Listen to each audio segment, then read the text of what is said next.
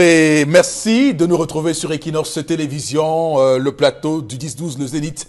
Nous sommes le mercredi 24 juillet 2019 avec la mort consacrée des droits de l'homme au Cameroun, la dignité humaine, les actes inhumains et dégradants, cette photo humiliante euh, du vice-président du mouvement pour la renaissance du Cameroun, monsieur euh, Mota, euh, qui fait le tour des réseaux sociaux, mais également la une des journaux ce matin. On peut penser à des photos humiliantes par le passé, comme celle de Patrice Lumumba ou encore celle de Laurent Gbagbo, souvenez-vous, après la crise post-électorale en Côte d'Ivoire, des images qui montrent bien que le Cameroun a touché le fond. On a vraiment touché le fond. Un responsable politique d'un parti politique au Cameroun euh, qui est ainsi euh, traité euh, de manière inhumaine, une manière de l'humilier. On va dire que dans cette circonstance, dans cette condition-là, le journalisme doit finalement se placer aux côtés des opprimés, puisque avec une telle société injuste, on se pose bien des questions sur la marche de ce pays-là, puisque les dominants ont décidé, ont pris l'option de tous nous écraser. Madame, Monsieur, dans cette émission euh, ce matin, nous nous attellerons à évoquer ces sujets-là et d'autres. Et nous reviendrons évidemment sur euh, euh, des choses que vous pensez tout bas et que nous disons ici tout haut sur ce plateau. Alors, vous êtes là, Donald Brice Kamgan, bonjour et bienvenue. Téléspectateurs. Je voudrais ouvrir ce matin avec ces propos du milliardaire soudano-britannique Mohamed Ibrahim. Il confie à nos confrères de Jeune Afrique, édition de cette semaine en kiosque, je le cite, trop de chefs d'État africains se croient irremplaçables et veulent rester éternellement au pouvoir au mépris des lois et des institutions. C'est une invite à la réflexion sur la longévité au pouvoir en Afrique.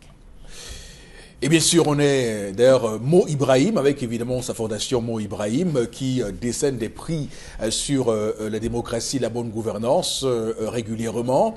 Lorsqu'il dit cela, il pense à ces chefs d'État africains qui ont passé trois, voire quatre décennies au pouvoir. Actuellement, actuellement en Afrique, nous avons le Cameroun qui est dans cette situation, nous avons le Tchad dans cette situation, nous avons la Guinée équatoriale, tous des pays, et le Congo-Brazzaville, tous des pays de l'Afrique centrale.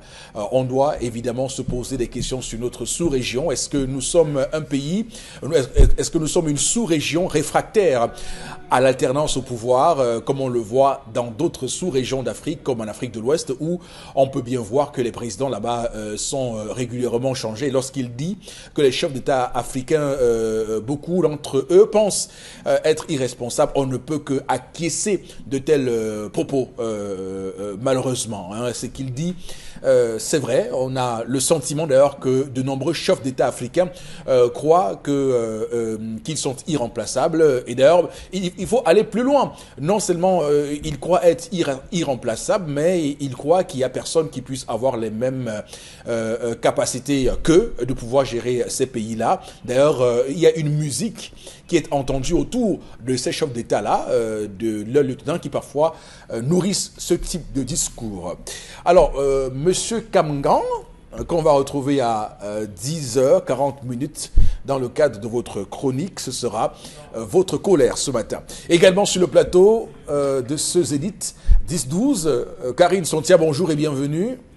Bonjour Monsieur Popossi et bonjour aux téléspectateurs. C'est triste ce que vivent les Camerounais dans les prisons au Cameroun et j'aimerais reprendre euh, ce qu'a souligné ou a révélé euh, Sisikou Ayouk concernant sa détention au CED. Je cite, Le CED, c'est le pire endroit sur Terre. C'était l'expérience la plus inhumaine que j'ai vécue de ma vie et je ne souhaiterais pas un pareil sort, même à mon pire ennemi. Mmh. Alors, ce qui est intéressant dans euh, cette interview qu'il accorde euh, au journal Mutation, c'était hier, euh, c'est qu'il s'exprime sur un canal qu'on peut authentifier.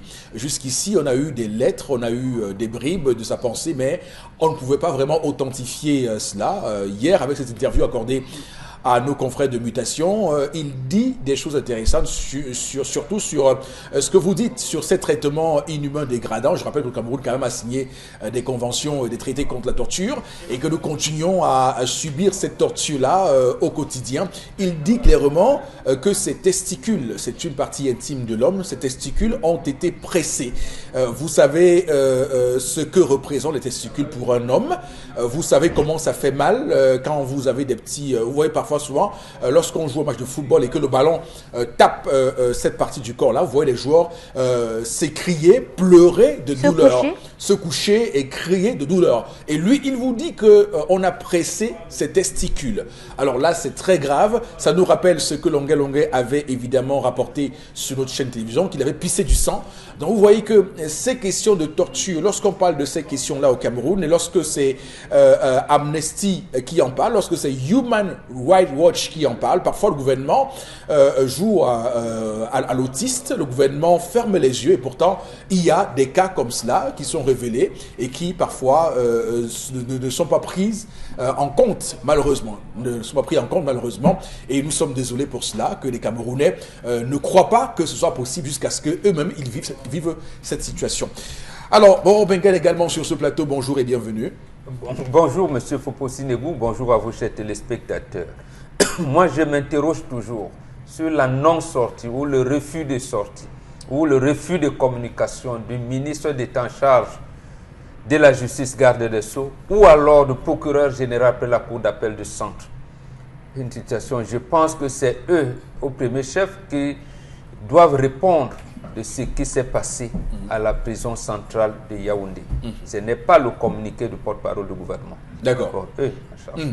Alors, bon, il faut dire que Essingan, le journal euh, ce matin, a titré euh, sur euh, le ministre d'État Laurent Esso et a écrit clairement le visage de l'horreur. Alors, cette une fait polémique puisque le ministre Momo, qui est ministre délégué, a réagi sur sa page Facebook et clairement dit que ce qui s'est passé à Kondengui n'est nullement de la responsabilité euh, du ministère de la Justice et que c'est le tribunal militaire qui ne relève pas de ce ministère-là qui est, qui, est la cause et que ce tribunal militaire n'a pas de prison, donc ce, euh, est obligé d'utiliser euh, la prison de Kodengui, justement. Et je pense que cette sortie-là fera date parce que désormais, on va s'interroger quelle est véritablement la responsabilité entre le ministère de la Justice et le tribunal militaire qui relève du ministère de la Défense qui lui-même est délégué de la présidence de la République. Donc il y a euh, cette sortie du ministre Momo ce n'est euh, pas vrai, C'est pas vrai ce qu'il dit. Et mhm. c'est encore bien que ce soit le ministre Laurent Esso qui soit là maintenant. Mhm. Pourquoi eux, ils ont transformé le CED en prison? Mhm. D'accord. Pourquoi, pourquoi donc arrêter les gens pour des manifestations publiques, les amener au GSO C'est où? Lui, lui, le ministre Momo nous dit donc le, ça veut dire qu'en fait, le tribunal militaire je n'ai pas dit n'a pas de prison. Mais c'est lui, le ministre de la Justice, mhm. qui a fait proposition de transformer le 16 en, en tribunal, en prison, oui. comme les autres prisons. Oui. Pourquoi n'avoir pas... Est-ce que, les capacités du CED de, euh, voilà, euh, peuvent accueillir tous ces centaines de milliers qui ça, sont actuellement... Ça rajoute également que le ministre Momo et son supérieur hiérarchique doivent donc instruire au procureur qu'on ne mm. doit pas envoyer les gens en prison n'importe comment. Mm. C'est-à-dire que j'ai pris 100 000 francs chez vous. Mais tous les procureurs de la République, c'est la chancellerie. Non, lui parle du commissaire du gouvernement. non. ou bien du, c'est les procureurs mm. dont il est le patron. Mm. Ils envoient les gens en, prison comment? Bon, bon, il faut bien comprendre le sens de sa sortie. Je comprends, mais j'ajoute que s'il y a autant de prisonniers à Kondengui, c'est parce que beaucoup d'entre eux viennent du tribunal militaire. Je veux dire que c'est quand même intéressant. Je comprends, mais lui-même sait que ce n'est pas tout à fait vrai. Uh-huh n'est pas tout à fait vrai. Ceux qui sont du Kosovo viennent du, tribunal, militaire. Non, c'est clairement une fuite en avant. Une fuite en avant pour une raison simple. C'est que si vous soustrayez des prisons camerounaises, hmm. au-delà même de la prison centrale de Yaoundé, si vous soustrayez des prisons camerounaises, l'ensemble de ceux qui sont jugés dans le cadre des infractions euh, militaires, hmm. insurrection, rébellion et autres, bref, ceux qui sont sous le coup de la loi de, 2014, de décembre 2014, si on s'en tient à ce raisonnement du ministre délégué, on peut penser que si on soustrait cela, eh bien, les prisons seront décongestionnées et que les chiffres seront raisonnables. C'est tout simplement avec ça. ça Alors que depuis 90, on parle de la surpopulation d'attaque. Donc, euh, ce sont les prisonniers anglophones qui sont rebellés. Voilà l'angle d'attaque. Et il estime que, j'imagine qu'il estime que c'est pour eux anglophone, si ça avait été mis dans leur prison à eux, sont militaires, ils n'auraient pas fait de cas. Non, il a vu ah le débat de fond, c'est la surpopulation carcérale. Lui-même, quand il était avocat ici à Douala, il a parlé de la En tout cas, on aura l'occasion d'en parler. C'est hein. On aura l'occasion d'en parler, mais il trouve quand même que dire que Laurent Esso est le visage de l'horreur, comme l'a dit Singar ce matin, c'est un peu trop, trop dur. Euh, moi, je trouve ça un peu trop dur quand même. On va euh, évidemment lancer l'émission de ce matin, mesdames, messieurs, avec euh, la première articulation. c'est L'histoire du jour, voici Dominique Audrey Oyengelek, bonjour et bienvenue. Bonjour Eric Faupoussi, bonjour aux téléspectateurs. Aujourd'hui, je vous raconte l'histoire de Laure et de Raymond. Les deux se connaissent depuis la classe de seconde. Ils sont à 6 ans de relation aujourd'hui. Ils n'ont pas d'enfants, juste leur amour. Laure a 24 ans et Raymond a 28 ans. Tout au long de leur relation, il n'y a jamais eu de problème. Les deux se sont accordés sur le fait que lorsque Laure aurait la licence, ils seraient prêts à se marier.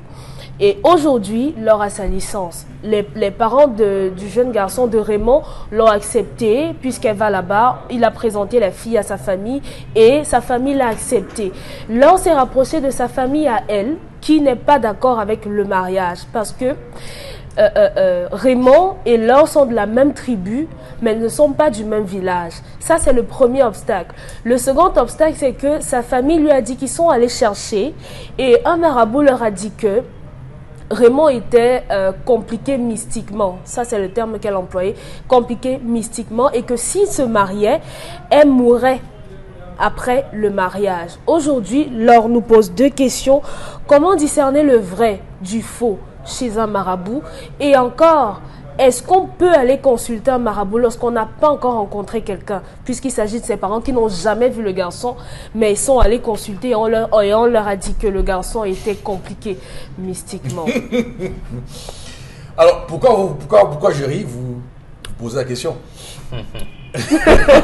Parce que, en, réalité, euh, alors, l'or qui se, qui se plaint dans l'histoire de ce matin, euh, euh, devrait, à mon sens, euh, remercier ses parents, euh, qui sont des parents, on va, le dire, euh, qui sont prévoyants et qui ont dû faire ce qu'on appelle chez nous l'art divinatoire en Afrique, c'est le, Ngambi.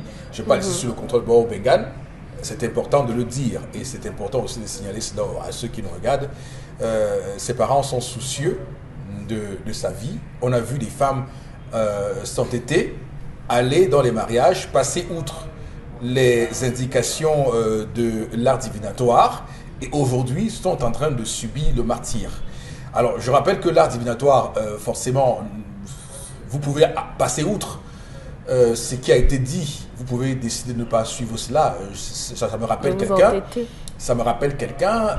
Il y, en a qui, y en a qui passent, qui passent outre ces indications. Je raconte l'histoire d'un ami mhm. euh, qui, justement, avant de se marier, a dû euh, faire, faire recours, à, faire recours donc, à, l'art divinatoire Ngambi. Et on lui a dit là-bas que la femme qu'il devait épouser, il, il devait, euh, il devait comment dire ça, qu'il devait faire attention parce que cette femme-là ne le rendrait pas heureux. Voilà. En grosso modo, voilà ce que les gens en avaient dit. Alors, mhm. lui, il s'est entêté à épouser cette femme. Cette femme et euh, quelques années après, euh, il s'est. Oh, lui, on discuté un tout petit peu. Il me, dit euh, aujourd'hui, ce que je subis, j'avais déjà. Moi, j'étais déjà prévenu de, de, ce fait. En fait, c'est que sa femme a mis beaucoup de temps pour accoucher.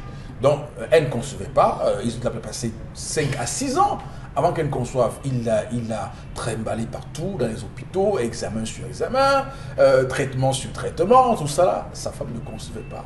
Alors que c'est un monsieur qui est plein c'est un multimillionnaire et tout ça là. Et vous savez, vous, vous sentez quelle est, la, euh, quelle est parfois la frustration d'un homme quand il a réussi financièrement, euh, sur le plan professionnel, et que à la maison, il n'a pas la chance d'avoir un enfant. Un, enfant. Donc, du, coup, oui. du coup, du coup, il était très frustré. Il m'a dit un jour, Eric, ce que je subis, j'ai choisi de subir. On me l'avait dit, et j'ai choisi en âme et conscience d'y aller. Hein, Donc, c'est ce qu'il a dit. Donc, c'est pour dire que c'est des choses qu'on peut vous dire, mais vous êtes libre après de euh, d'y aller ou pas. Alors, je commence par vous, bon, Bengan, d'abord sur les questions, les préoccupations de, de Laure qui demande est-ce que c'est possible de dire, euh, de, de, de- prédire Sans avoir vu quelqu'un. sans avoir vu quelqu'un euh, Voilà, d'abord là-dessus. Oui, oui, absolument. Bon, Absolument. Et encore ici, que c'est sa famille qui s'est engagée. Et j'ajoute que, justement, il faut consulter le Ngambi ou tout autre divinatoire avant de vous engager dans un quelconque mariage. Surtout, le mariage, c'est vous qui avez l'habitude de dire c'est pour la vie. Bon, comment savoir que cet homme, c'est le mien? Vous pensez que votre réflexion seule, votre cœur seul, vous rencontrez Josué dans la rue, vous dites que maman, si je ne l'épouse pas, je vais mourir. Voilà. Non, il faut consulter. Nous, on consultait. Et le mieux vaut même que le mariage ou alors les liens d'amitié se brisent à ce moment-là que, dans le, que ça, ça- ça se brise au sein du couple lorsque vous serez mariés. Oui. C'est- bien. Donc là, ses parents la protègent. oui, c'est la théorie de la complexité à Oui, l'africaine. oui, tout à fait. Oui, non mais après, après, les gens euh, ont différentes manières de savoir quel est le bon. Il y a, il y a des prières, on- j'entends parfois des personnes faire des neuvaines de prière pour savoir si euh, la personne qu'on a en face est la bonne personne. Il y en a qui euh, se fient juste au sentiment, à l'instant T, ou bien au comportement, ou euh, aux affinités, aux atomes crochus, comme on dit parfois. Moi, je ne peux expliquer que ce que je sais. Mais je, je sais aussi. Non, non. J'imagine la prière ne donne pas le mariage. la prière ne peut pas enlever le karma que quelqu'un traîne de sa famille. Vos parents, il y a par exemple des morts subites qui existent. Je prends un cas que je rencontre presque tout le temps. Oui, Quelqu'un, un papa, donc euh, il a eu beaucoup de morts accidentelles dans sa famille. Ils n'ont pas fait le rite de Mbak. Et il va trimballer ça, ta vie, sa progéniture aussi. Si on ne rompt pas ça, ce sera compliqué pour eux. Parce que quand vous entendez par exemple qu'un enfant a poignardé son, son camarade au lycée de Deido, bon, vous, vous allez dire le tramor, les enfants d'aujourd'hui. Mais si vous allez plus loin, vous allez voir que ces enfants-là traînent ce qu'on appelle le Komumbak. Donc, il y a des morts subites. Il y a beaucoup de choses qui se sont passées et qui Oui. traînent dans leurs gènes. Donc, c'est ça qu'on vérifie. Lorsque vous voulez vous rentrer en, entrer en relation avec quelqu'un, surtout des relations de mariage, mariage. j'ai dit, il faut consulter. Et ici, ma fille, vos parents vous protègent. Et c'est bien d'avoir consulté. Comme ça. Maintenant, il reste donc à savoir, parce que dans euh, la spiritualité africaine, puisque c'est nous qui connaissons Dieu, Dieu n'est pas l'Église, nous pouvons donc remodeler ces choses-là. Par exemple, les noms comme les Sikati, comme les Niembes, comme les, les Gwet, comme je suis. Bon, comment ces noms sont-ils arrivés dans dans nos familles? Justement, il y avait donc des situations où le Ngambi disait, comme vous avez dit tout à l'heure, quelques certains vous dit, votre mariage risque de ne pas, parce que vous allez perdre des enfants. À ce moment, on va donc aller en profondeur. On dit que comment vont-ils perdre des enfants? Et est-ce qu'il y a des rites qu'on peut faire pour éviter ça? Oui. C'est d'où le nom donc, de Kwedi, de, Gwe- de, de, de Nyem, de Tonier, de Sikati, de tout. Et là, on dit combien on a vu ce qui pourrait empêcher à nos deux enfants d'être euh, d'être heureux. Oui. On rompt ça. Et comme tout le monde va mourir, on sait que tout le monde meurt. Et nous allons donc vaincre la mort. Ça veut dire qu'ils vont donner les enfants. Les enfants vont grandir. Et pour défier donc la mort, on va leur donner le nom de Nyem ou de Kwedi ou tout ce que vous voulez. Donc voilà comment nous, nous on organisait. Donc c'est toujours bon de consulter. Mais surtout pas d'éviter des prêtres, des pasteurs. Là, ils ne s'y connaissent pas. Oui, mais maintenant, comment distinguer le bon du mauvais? Mais c'est dans l'art divinatoire. Non, on veut dire que donc, euh, celui, bon qui, ou le con- mauvais celui qui vous consulte. Ah oui, là euh, aussi, c'est un problème. C'est Voilà. un problème sérieux. Parce que la société est tellement délitée qu'on ne peut pas savoir qui fait le bon gambi, qui fait le mauvais. Mais je conseille à la fille de s'approcher de ses parents. C'est sûr, quand les parents le font, ils vont lui expliquer. Mm. Et ça veut dire que ses parents savent qui sont les vrais. Euh, Bon, en, règle générale, euh, parfois on consulte 2, 3, 4, 5 personnes. Oui, oui, avant tout à fait, tout Avant, absolument. avant- avant de s'arrêter, c'est pas une seule personne qu'on consulte. Non. Alors, mais, bon, Bengad, mais quand même, est-ce que cet argument qui est pris euh, n'est pas un fallacieux prétexte, parce que je vois là euh, qu'il y a l'une des raisons de la tribu et du village. D'abord, c'est quoi C'est quelle différence entre une tribu et un, village ah mais moi-même, j'ai Parce qu'on a la même tribu, mais on a le même village. C'est comme pour dire, les deux sont bananes, mais l'autre est de Ndiki et l'autre est de Nituku, ah, par exemple. Ah, non, justement, le problème qui arrive souvent, c'est quoi? C'est qu'il y a des familles, il y a des familles belliqueuses. Parce que ça aussi, il faut, il faut, faut de, quand on va dans l'arc gouvernatoire, oui, je veux dire, avant même d'arriver au Gambie, lorsque votre fille vous présente un, amant, vous savez, il vient d'où? Il est d'où? Est-ce que, est-ce que, est-ce que mhm. vous aussi, la famille du garçon aussi demande. Est-ce que voilà, il enquête, il dit, cette fille-là, est-ce que sa maman est restée en couple? Est-ce que sa maman est divorcée? Mhm. Est-ce que sa maman a procréé? Bon, voilà des choses qui Mais s'il mhm. arrive donc, ils ont des antériorités qui se rapprochent de la violence, on commence à se méfier. Voilà, s'ils ont des antériorités qui se rapprochent de la sorcellerie, on peut se méfier. C'est pour ça qu'on dit non, les gens de ces villages, voilà. Parce qu'il y en a aussi qui ont commis des incestes, qui ont été dans l'histoire punis, et peut-être même bannis du village. Du village et bon, ça, ça reste mis en quarantaine. Mis en quarantaine, voilà. Donc tout ça revient. Parce que vos ancêtres ont commis certaines fautes, on les a punis à l'époque. Est-ce que aujourd'hui, euh, 100 ans après, est-ce que ça revient? Il faudrait bien qu'on s'interroge et qu'on mhm. voit que notre fille qui va là-bas sera en sécurité. Oui, alors notre garçon, notre fils qui a décidé de prendre une fille, un mhm. tel village, il sera tout à en Alors, euh, Donald Brice, je vous sais très cartésien. Euh, vous allez dire que cette histoire-là, vraiment, c'est du, du n'importe quoi, j'imagine. Euh, mais je dois également vous signifier, vous dire que même dans la, vie moderne, je vois des gens qui prennent des, des stratagèmes pour ne pas conclure un mariage. Je connais un bonhomme qui a rencontré une femme et au moment de conclure cette union-là, il a dit non, nous ne sommes pas du même, euh, du même, enfin, il parlait de, de Il disait que vous, notre, notre vous êtes AS, monsieur AS, donc il y a risque que vous et moi, on se mette ensemble. Il y en a même, j'ai même eu un cas dimanche dernier, là, pour le problème de la religion. Alors qu'ils étaient en ils étaient en amitié pendant au moins 5 ans. Au moment où la fille lui dit, dit que non, toi tu sais que moi je suis musulman. Si tu veux, tu, tu, tu, tu vas t'islamiser. Alors que, bon. Voilà. Donc, euh, donc, euh, donc Donald Brice, on voit bien que même le, dans, la vie, dans la vie moderne, mhm. il y a des, des, des, prétextes qui sont pris pour ne pas conclure une union. Bon, d'abord, monsieur Fopoussi, je, je, vous invite à, à à retirer ou alors à mettre un bémol sur l'expérience que vous avez racontée en début d'émission. Pourquoi?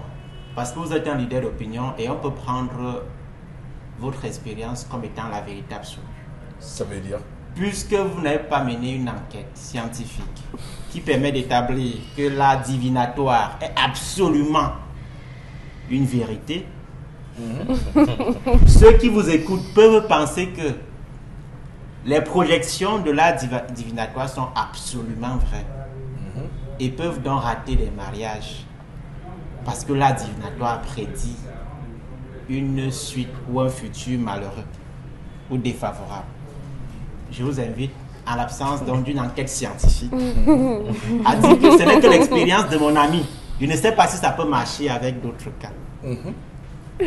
Première chose. Deuxième chose. La science n'est que l'expression de ce qui a été vérifié. Mhm. La science n'a pas tout vu.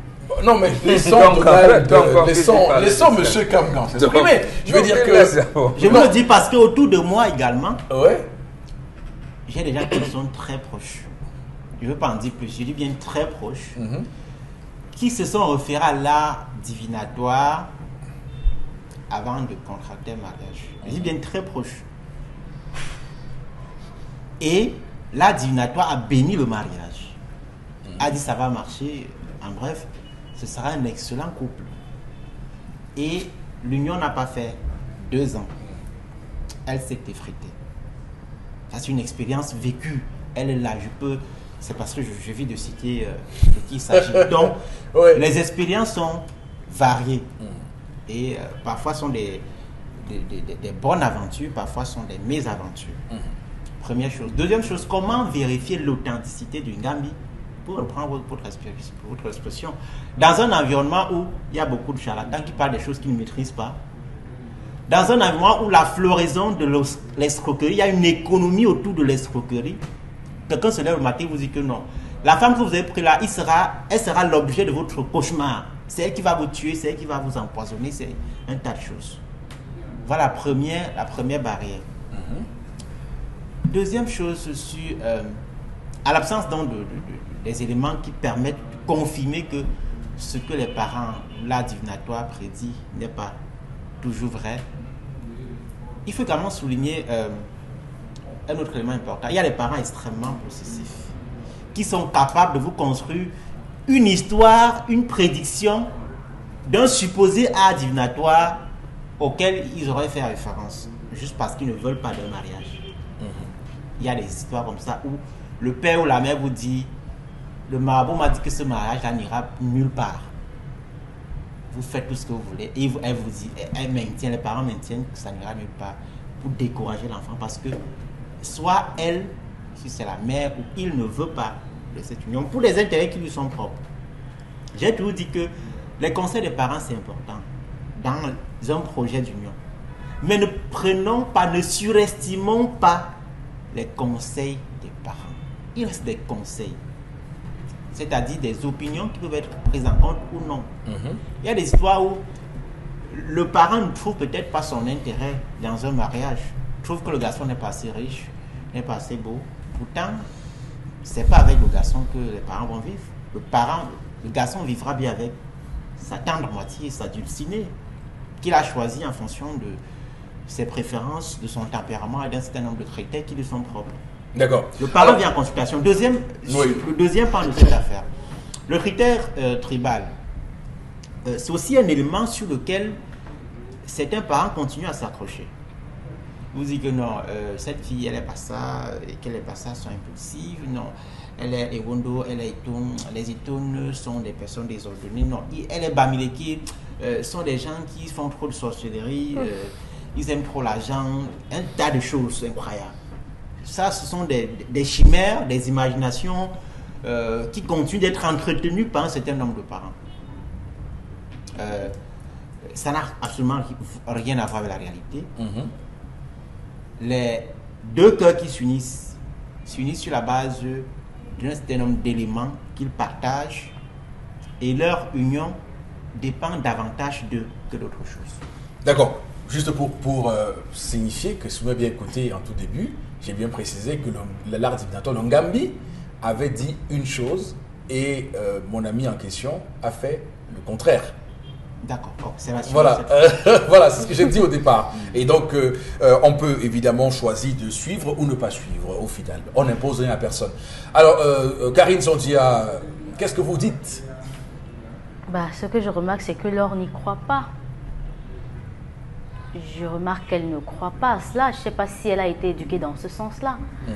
Parce que c'est quand même grave que vous n'avez jamais emmené votre fille quelque part vous n'avez jamais dit à votre fille qu'on peut aller voir son avenir quelque part.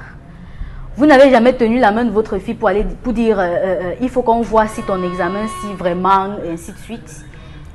Mais un jour, parce qu'elle est venue, avec, elle, vous a dit qu'elle veut se marier, elle a un homme dans sa vie, et vous dites vous allez aller regarder. Et quand vous partez regarder, on vous dit que non, il n'est pas le bon.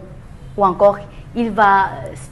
Oui, il est compliqué. Il, est, il sera compliqué mystiquement. Il est. Voilà, il est mm. compliqué mystiquement. Le simple fait que ce garçon ait fait six ans avec cette fille, s'il voulait faire d'elle n'importe quoi, je dis bien n'importe quoi, que ce soit une marchandise spirituelle, n'importe quoi, il l'aurait fait. C'est six ans de relation.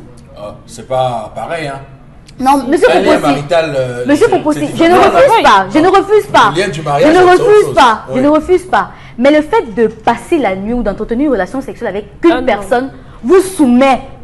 Vous lit, hein. Ça vous lie.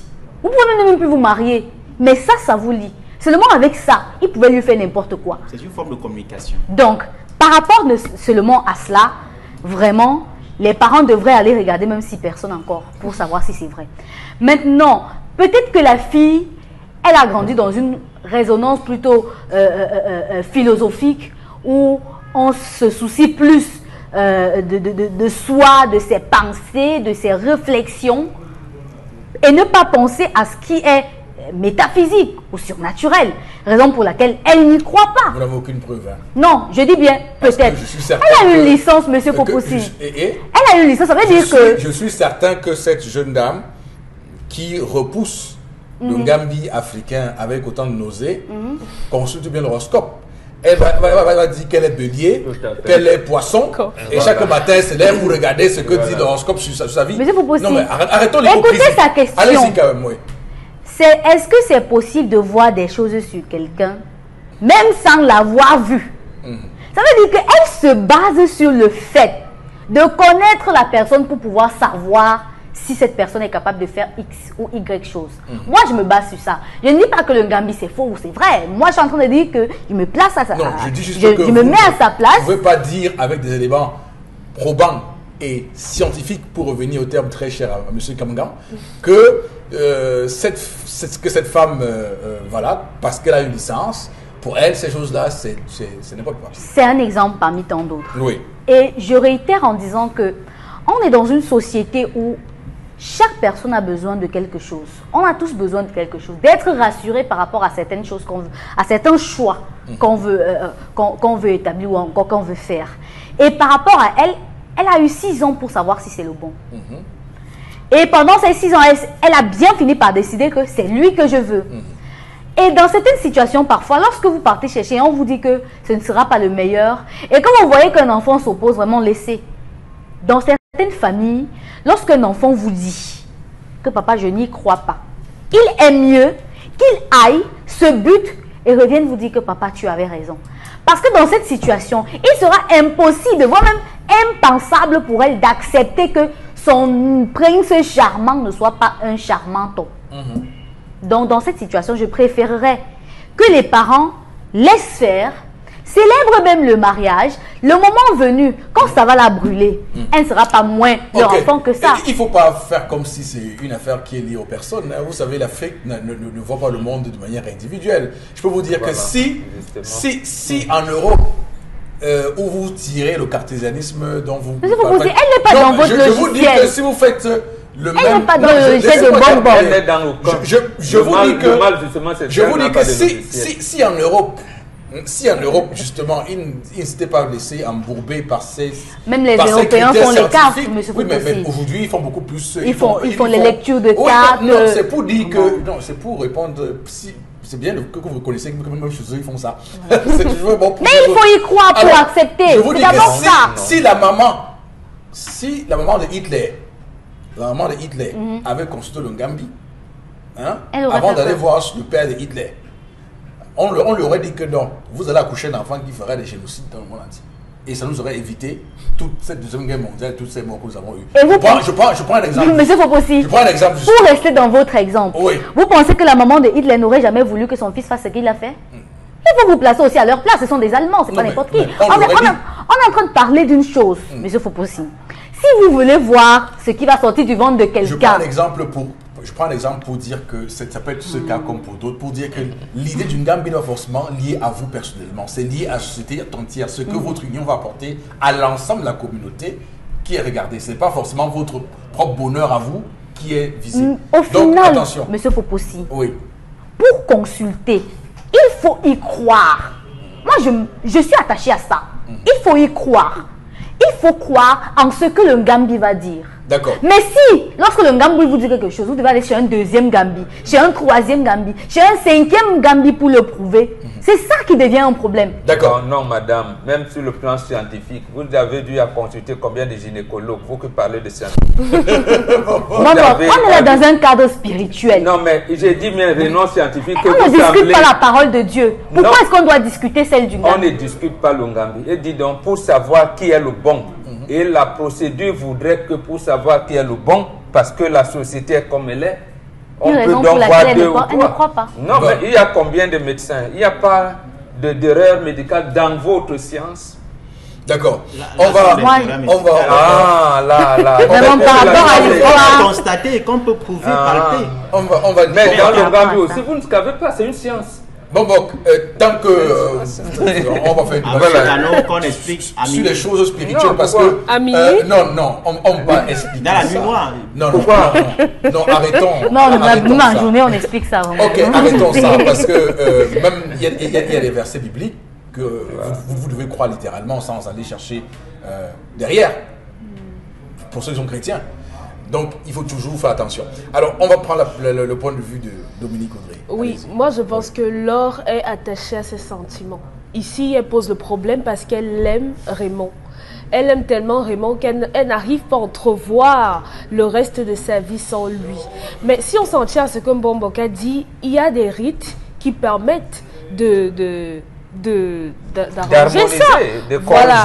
Donc si vous, bon, il va maintenant falloir que ses parents acceptent parce que maintenant ce sont ses parents le problème. Ses parents sont contre le mariage. Ils ne veulent pas perdre leur fille qui va mourir quelque temps après, que- euh, après le mariage. Donc il va falloir les convaincre et que la famille du garçon aussi fasse quelque chose. D'accord. Vous êtes. Non, moi je peux vous faire des témoignages. noms je que je ne citerai pas ici, il y a ce qu'on appelle le houkari, c'est-à-dire qu'une femme, qu'on a, euh, une fille qu'on a gâtée, et elle ne peut réussir le mariage qu'au dixième essai.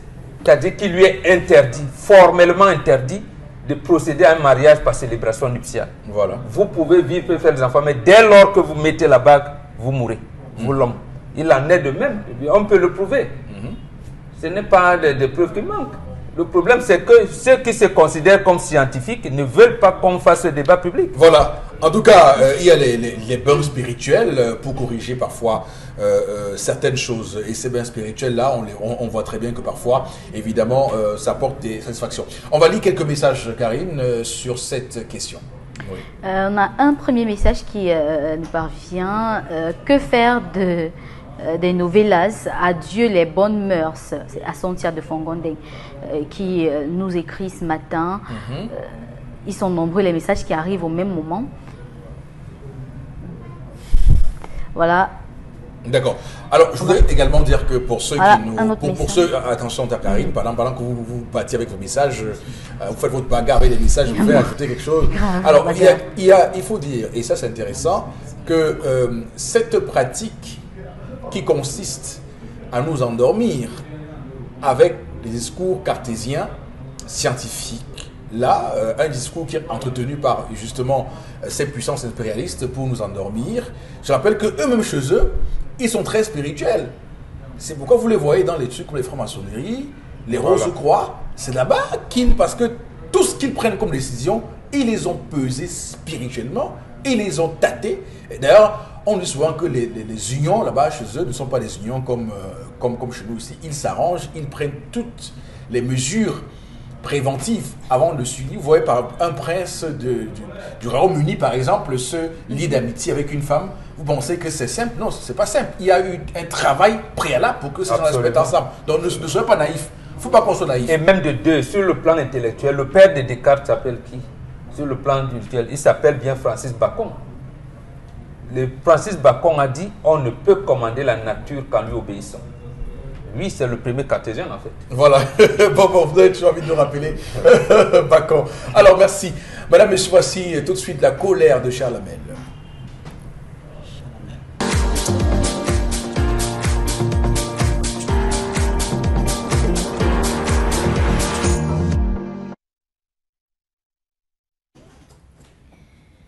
J'interpelle ce matin la conscience nationale sur un sujet grave.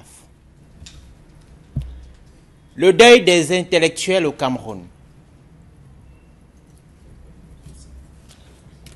Dans son ouvrage intitulé Histoire des idées, l'historien français François Dos se demande si les intellectuels sont morts. À cette question, il répondra qu'ils sont en crise. La question que se posait ce philosophe en 2003, on peut se la poser au regard de la situation actuelle du Cameroun. Un intellectuel est un citoyen, laborantin de la pensée, passionnément porté vers les grandes préoccupations de son époque. On peut les retrouver dans toutes les catégories socio-professionnelles. Artistes, enseignants, journalistes, philosophes, avocats, écrivains. Mais il est dommage de constater que le Cameroun cherche désespérément des intellectuels de métier ces dernières années. C'est une espèce en voie de disparition. Depuis le déclenchement de la crise anglophone en 2016 et tout récemment depuis le début des contestations post-électorales de fin 2018 au Cameroun. Au milieu du XXe siècle, Jean-Paul Sartre posait que l'écrivain engagé, c'est que la parole est action. Il sait que les mots sont des pistolets chargés. S'ils parlent, ils tirent, disait l'écrivain. L'essayiste soulignait ainsi la redoutable puissance du verbe chez les écrivains en particulier, mais une réalité extensible également à tous les grands esprits qui parlent à un public plus ou moins large. Mais la parole de l'intellectuel se distingue et se reconnaît par sa froideur, sa rigueur, la liberté de ton, l'esprit critique, l'objectivité. C'est grâce à ces caractéristiques cardinales qu'en tout lieu et en tout temps, les intellectuels ont joué un rôle crucial dans la structuration et la mobilisation des opinions dans le monde. Ils ont été dans la plupart des sociétés démocratiques des forces agissantes des forces agissantes en faveur du bien commun, quitte à déranger les régimes en place. En suivant les prises de parole dans les médias, sur les réseaux sociaux et de façon plus globale dans l'espace public au Cameroun ces dernières années, l'on est scandalement frappé par la partialité du discours de bon nombre de nos figures pensante.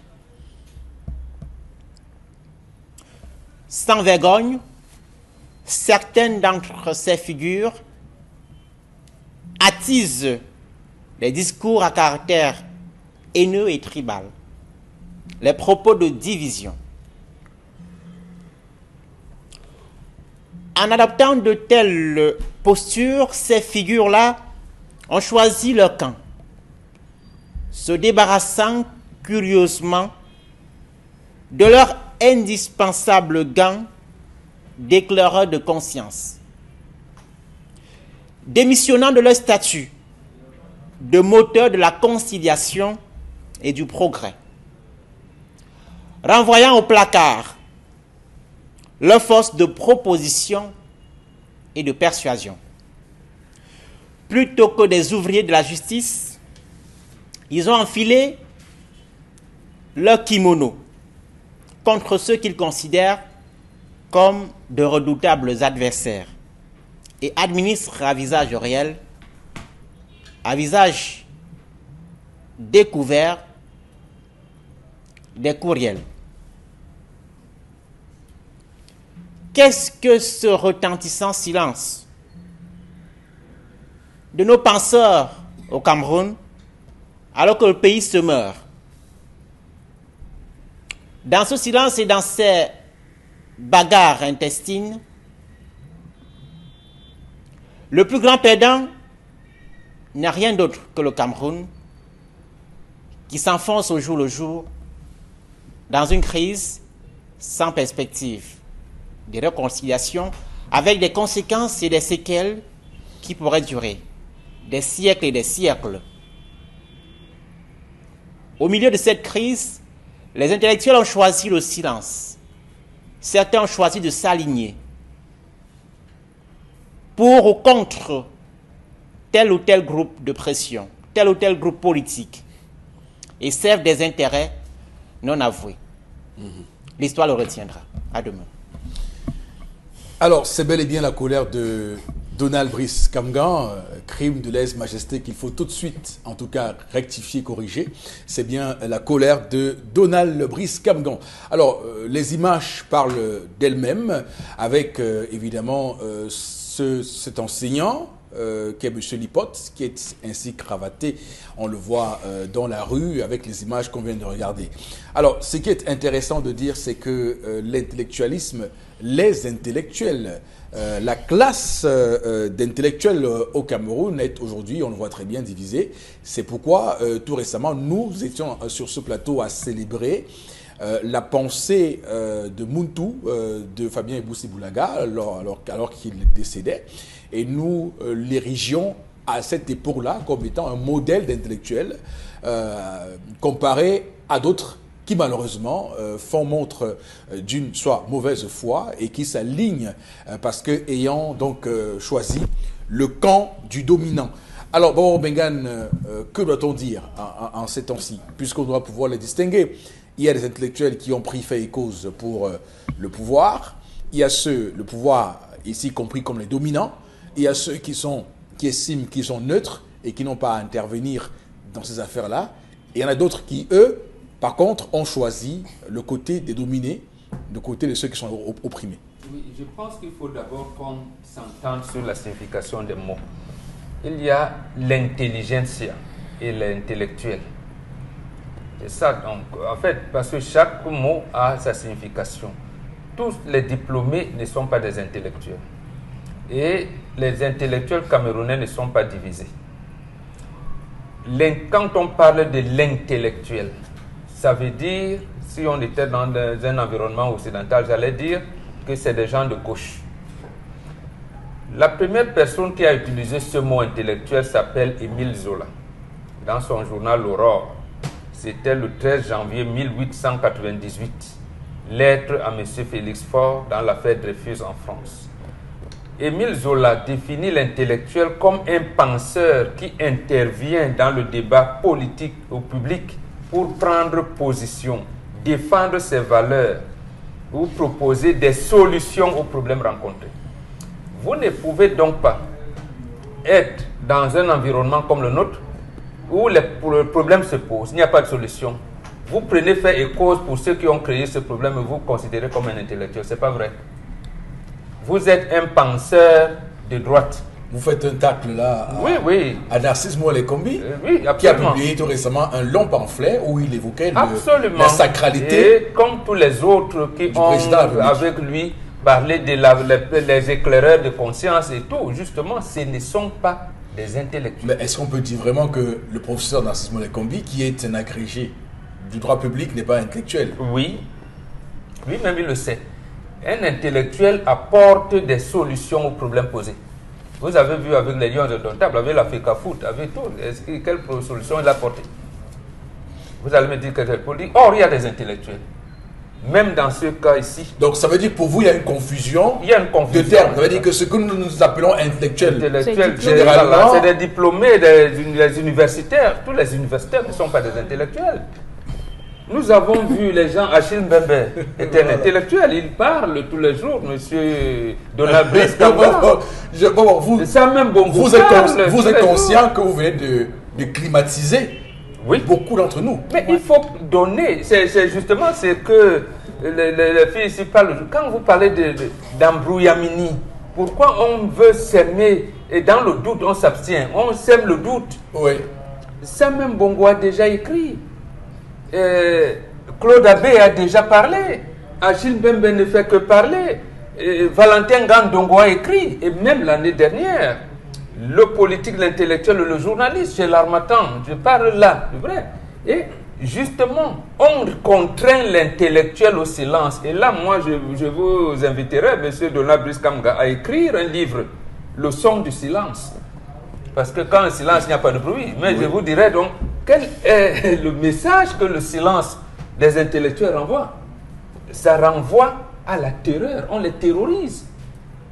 Est-ce que Nga Valentin Gandongo, qui a dit ce que pouvait faire le politique dans un environnement, ce que doit faire ce qu'il appelle l'intellectuel d'homme d'études, et le journaliste qui l'a lu, est-ce qu'on veut même faire la promotion d'un tel ouvrage?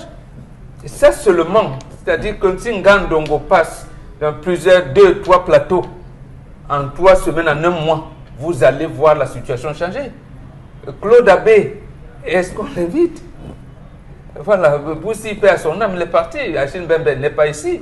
Même en 93, juste après la présidentielle de 92, Moukoko prise au sort un livre. Il dit Cameroun, Cameroun, Cameroun avait K, comme les Allemands, et Cameroun avait C. La transition démocratique est dans l'impasse.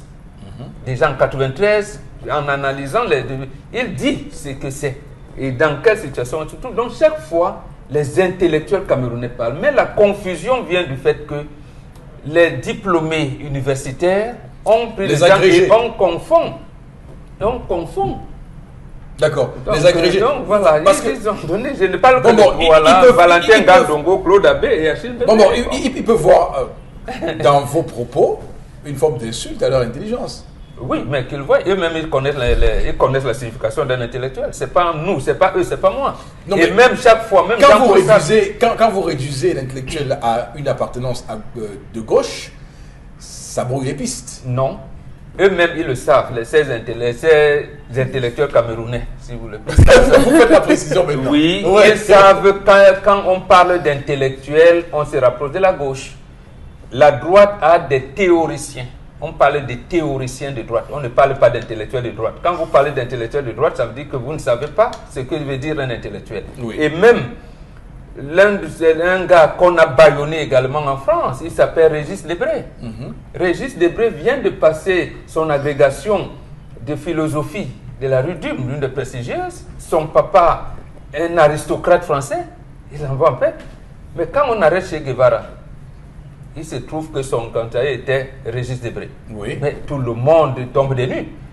Comment un papa, un brillant avocat, a un enfant qui peut être avec chez Guevara? Oui. c'est comme si vous disiez, par exemple, que le, le, le, le fils d'Anzé Tungui et avait, avait Goumniobé, quelque chose comme ça. Voilà. Donc, voilà. Voilà. Donc, Bel et exemple. Quand, Mitterrand arrive, il nomme Régis Debré responsable euh, conseiller à la communication à l'Élysée. Oui. Même en France, on a dit Mitterrand a fait quoi? Il vient nommer un tel, voilà, un de Che Guevara. Premier voyage de Mi- Mitterrand au Mexique, c'est à Cancun. Dans le cortège, Régis Debré se met à pleurer. Mais Jacques Attali lui pose la question Mais Régis, qu'est-ce qui se passe? Il dit J'ai pensé à Che Guevara. Quand il rentre en France, il démissionne. Il, crie- il écrit un autre livre pour donner encore plus de pouvoir à ce qu'on appelle intellectuel, le pouvoir intellectuel en France. Il a- il s'est sorti chez Gallimard en 1986. Donc, pour repréciser encore quel est le rôle de l'intellectuel. Donc, en fait, c'est ça qu'il y a ici. Or, il y en a, Claude Abbé a parlé. Est-ce qu'on l'écoute? Achille Mbembe parle tout le temps. Est-ce qu'on l'écoute? Valentin Gandongo parle tout le temps. Est-ce qu'on l'écoute? Samuel Bongo parle tout le temps. Est-ce qu'on les écoute? Et Kouman parle tout le temps. Est-ce qu'on l'écoute? Albert Ducouré Alors, parle. Est-ce bon, qu'on bon, les écoute? dans un contexte comme le nôtre, Euh, où euh, on vous catalogue euh, par rapport à vos positions, euh, par exemple, nous, nous sommes considérés par, à, à tort, finalement, comme des, euh, des opposants, on va dire ça comme ça, on nous considère comme des opposants. C'est fait exprès. Ou bien, c'est- parfois, on nous étiquette comme étant du MRC Oui. euh, euh, parce que nous avons des positions euh, euh, contre euh, les, les- les- les politiques publiques qu'on faisait même avant que le, le- le- le- le MRC n'arrive. Mais aujourd'hui, il y a donc cette, euh, euh, cette classification qu'on fait par rapport vos discours. Dans un contexte pareil, est-ce que vous compreniez que certains intellectuels préfèrent ne pas prendre position clairement pour justement assumer leur statut d'intellectuel Parce Euh, que après, on vous catalogue à un parti politique. Non, les intellectuels parlent. Ceux qui choisissent d'être là ne sont pas encore intellectuels. En fait, dans le langage, on dit ils ne sont pas encore circoncis. C'est ça. C'est un intellectuel. Tu dois toujours proposer des solutions. Oui. Même quand tu n'es pas écouté, Ngandongo a écrit. Il n'a pas besoin que tu fasses un verset là, mais il faut que ça reste. Claude Abbé parle. Les femmes, c'est les Donc ça veut dire que l'intellectuel n'a pas peur d'avoir une étiquette politique. non, non, il n'a pas peur. Il n'a pas peur. La preuve, c'est lui qui coordonne. Voilà aussi un brillant que j'ai failli oublier. Le, c'est lui qui coordonne les activités du Cameroun Business Forum. Le professeur euh, Tounamama. Mhm. Voilà un intellectuel. Il dit, le décret m'a mis ici. Mais voilà ce que j'ai fait comme scientifique. Il critique, il sort des livres. Voilà un bonhomme. Il vous dit, bon, dans l'administration, c'est ce que vous m'avez demandé de faire, non? Lui-même, il critique ça, il dit que non, ce que vous demandez, ce n'est pas ça. Voilà ce qu'on doit faire. Mhm. D'accord. Euh, on n'a pas beaucoup de temps. On va prendre une petite pause, je vous en prie. Sujet passionnant, euh, je vous le reconnais, euh, comme M. Kamgan et Karine Sontia qui est, on va le dire, impatiente de prendre la parole. Madame, Monsieur, restez avec nous, Dominique Audrey également. Restez avec nous. nous sommes de retour dans quelques minutes pour la suite de cette émission œuvre intellectuelle. Contournement euh, euh, euh, des acrobaties intellectuelles pour nous expliquer l'inexplicable au final des gymnastiques intellectuelles. On va démarrer cette deuxième partie de l'émission, Madame, Messieurs, avec quelques messages, Karine, avec vous. Justement, si Dieu est amour, l'amour n'est-elle pas, n'est-il pas la force qui surpasse toutes les autres? Consulter un marabout, c'est pas mauvais. Chez nous, à l'ouest, il existe des initiés. Le mariage se bénit jusqu'au niveau des crânes des ancêtres. Patrick de Bilongue qui nous écrit.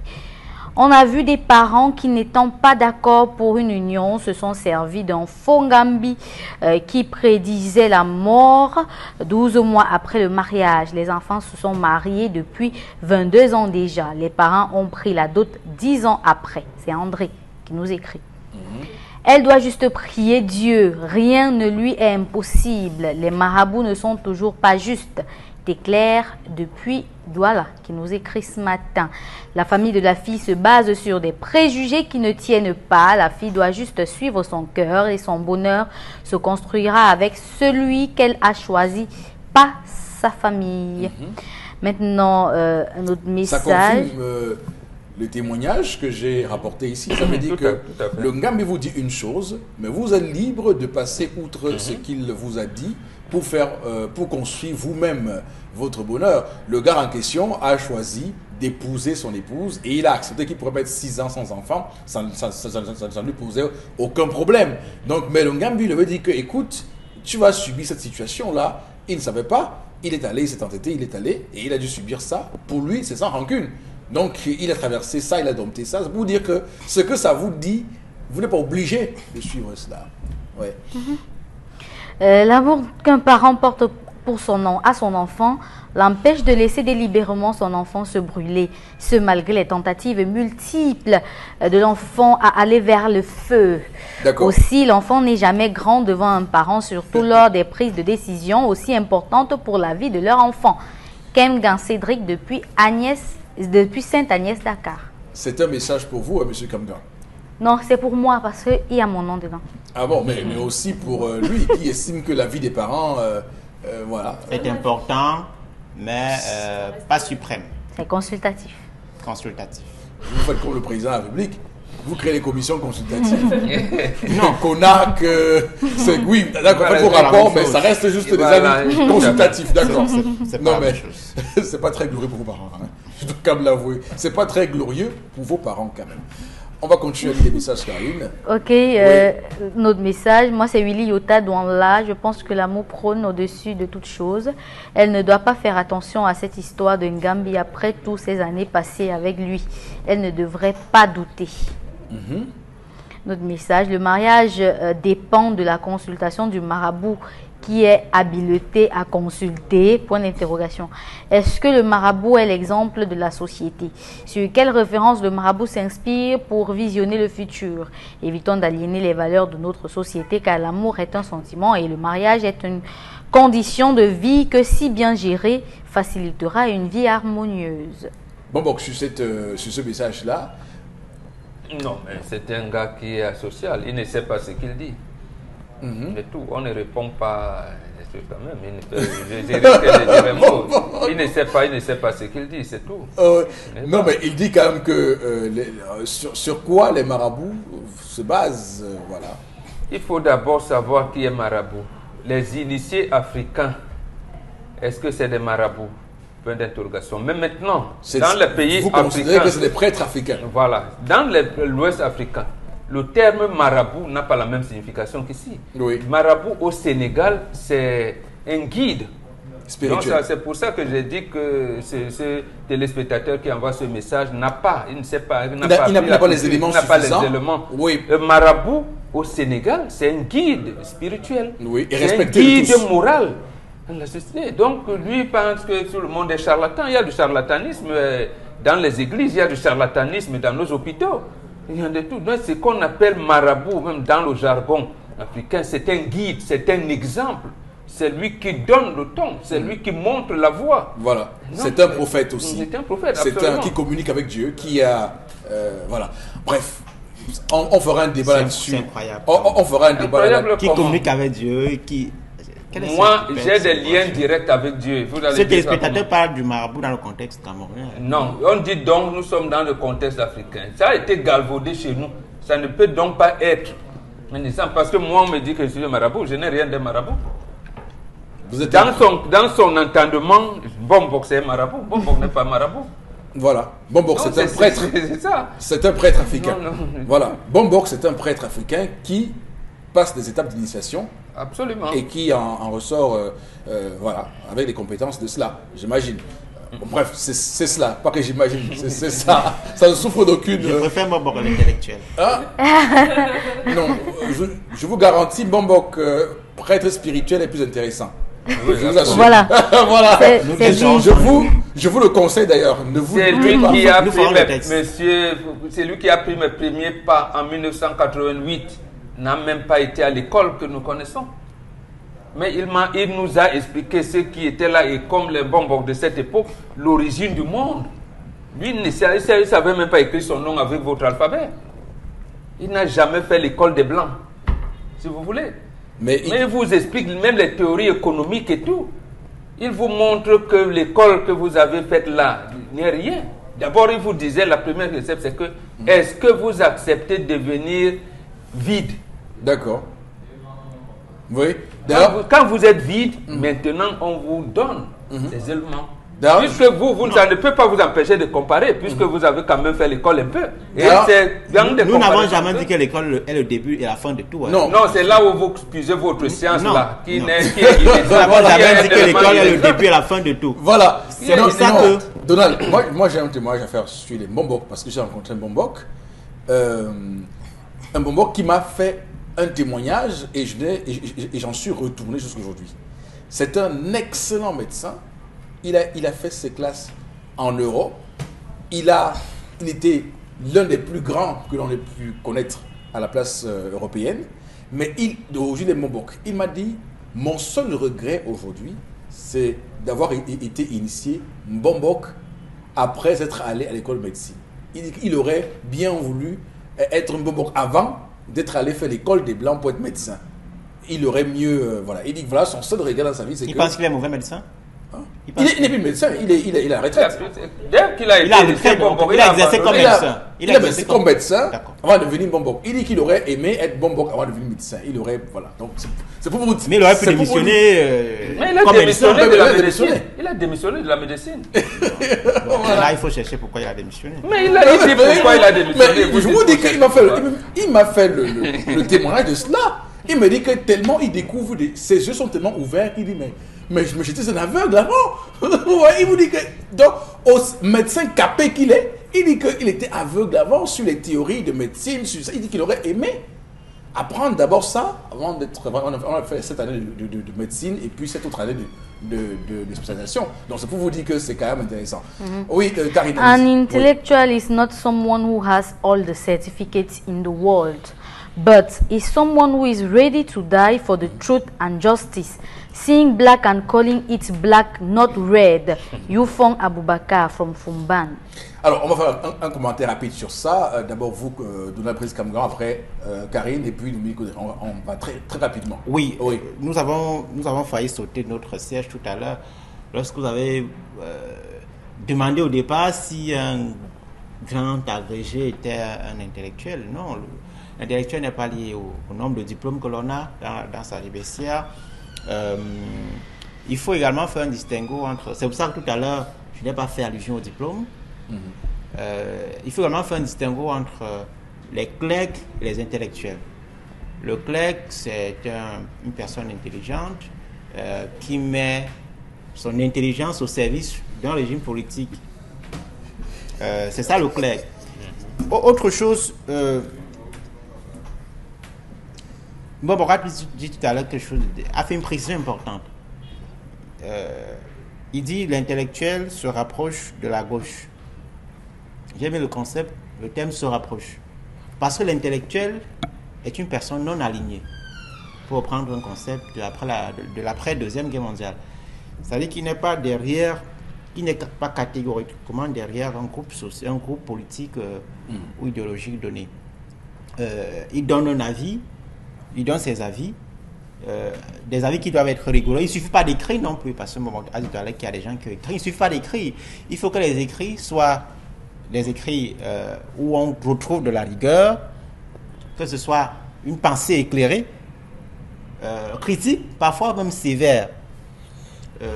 Ces caractéristiques-là doivent pouvoir se, retrouver, mais dans notre contexte, il y a beaucoup de, beaucoup de clercs qui mettent l'intelligence au service du pouvoir. D'accord. Euh, Karine, allez-y. Bah, ceux que notre société euh, considère comme intellectuels sont ceux-là qui divisent la société, qui séparent les opinions, qui font tout pour que personne ne pense de la manière la plus juste qu'il soit. Parce qu'autour de nous, même dans nos communautés, euh, euh, qu'elles soient villageoises ou autres, on voit que même les personnes qui sont intellectuelles, c'est elles qui contribuent à diviser. Vous allez voir un, un intellectuel qui va prendre peut-être la présidence d'une association quelque part. C'est cet intellectuel-là qui va commencer à dire non, moi je soutiens ci, je soutiens ça, et il ne sera plus jamais avec le peuple. Vous Il voulez ne- dire un diplômé qui prend... oui, un diplôme. Voilà. Ce que nous, nous considérons, la société, je parle de la société, ce que la société considère comme intellectuel, ce sont des gens qui sont alignés parce qu'il faut bien manger. Parce que l'intellectuel ne peut pas vivre de son intellect. Ce sont des pauvres. Les véritables intellectuels ne sont pas des richissimes. Ils n'ont pas tout, tous- toutes ces œuvres que nous voyons, des immeubles et autres. Ce sont des personnes qui vivent dans la vie, de la, dans la modestie. Et raison pour laquelle ils ont encore la lucidité pour se placer à la place des autres. Mais nos intellectuels que nous avons sont des personnes qui ont de l'opulence parce qu'elles ont choisi, parce qu'ils ont choisi de se ranger d'un côté qui leur permettra de continuer à dominer. Et c'est ça parce qu'ils ont pensé que Bon. puisqu'on est intellectuel, on faire domine. une, une opposition entre euh, être riche et être intellectuel. Non, monsieur Fopossi, je parle de ce que nous, je parle de nous, ce que nous considérons comme intellectuels. D'accord. Nous, pour nous, Je les dis qu'on peut avoir un vrai intellectuel qui est, qui est riche. Justement, Voilà. mais je dis bien, ce que je suis en train de dire, Oui, c'est que ce que la société, les individus, les uns et les autres, le peuple pense être intellectuel, ne l'est pas, en fait. D'accord. Un- seul mot, je un, élément aussi que je pense important, la cohérence sur l'intellectuel. Il y a des noms que Mbomboka citait tout à l'heure. Euh, dans sa liste, il y a des noms que je ne considérais pas comme des intellectuels parce qu'il n'y a pas de la, cohérence. Vous ne pouvez pas dire qu'une chose est noire en 2019 et en 2020 dire que cette chose est blanche sans expliquer le processus, le mécanisme par, les, par lesquels vous êtes passé pour déduire que cette chose qui était noire aujourd'hui, demain, est blanche. La cohérence, c'est un élément important. Alors, euh, Dominique Audry. Oui, si on s'en tient au contexte camerounais, aujourd'hui, on se serait attendu à ce que les intellectuels dans le contexte camerounais proposent des idées, parce que c'est en ça qu'on reconnaît un intellectuel. Non, Leur arrêtons de dire intellectuel qu'on est camerounais. Non, On pas dit- des diplômés. On a dit universitaires, diplômés agrégés, différents intellectuels. Dites que les universitaires ont fait ci, on fait ça. Ok. Voilà. Peut-être Après, ça trouble tout le monde. Le, le statut d'intellectuel n'est pas lié au diplôme. Voilà, tout à fait. Malheureusement, Maintenant, ok. dites que les diplômés camerounais ne sont pas forcément intellectuels. Ok. Voilà. Donc, les diplômés camerounais qui ne sont pas intellectuels, c'est mieux Oui. Voilà. Les diplômés camerounais qui ne sont pas intellectuels, mais qu'on prend pour des intellectuels, on se serait attendu à ce qu'ils nous proposent de bonnes choses parce que ce sont eux la conscience de tous. Un intellectuel, ça travaille pour l'universel. Malheureusement, aujourd'hui, au Cameroun, on a vu, on constate que ils font partie du troupeau d'hommes que mènent euh, les décideurs et par analogie, ils ont décidé de s'allier au, pa- au parti qui, gagne, de s'allier aux, aux dominateurs, aux vainqueurs, pour euh, le plus grand mal de, la population, parce que je crois, Ed- Edmond, euh, Edmond, un, écrivain, il disait que l'intellectuel, c'est quelqu'un qui s'engage, qui est prêt à se donner pour la vérité. Et malheureusement, au Cameroun, nos diplômés qui ne sont pas intellectuels ne sont pas pour la vérité. Alors, on va euh, s'arrêter là, euh, malheureusement. On va s'arrêter là, rentrer euh, dans la revue des réseaux sociaux, Karine. Oui, dans le cadre de la revue des réseaux sociaux, une image choc. Je vais donner quelques adjectifs qualificatifs. Douloureuse, une infamie, dénigrante, l'humiliation même, en image du premier vice-président du MRC, en la personne de Mamadou Mouta, qui fait le tour de la toile. Les internautes la trouvent insoutenable et veulent savoir qui sont les coupables de cet inhumanisme que le messager a appelé horreur et tyrannie.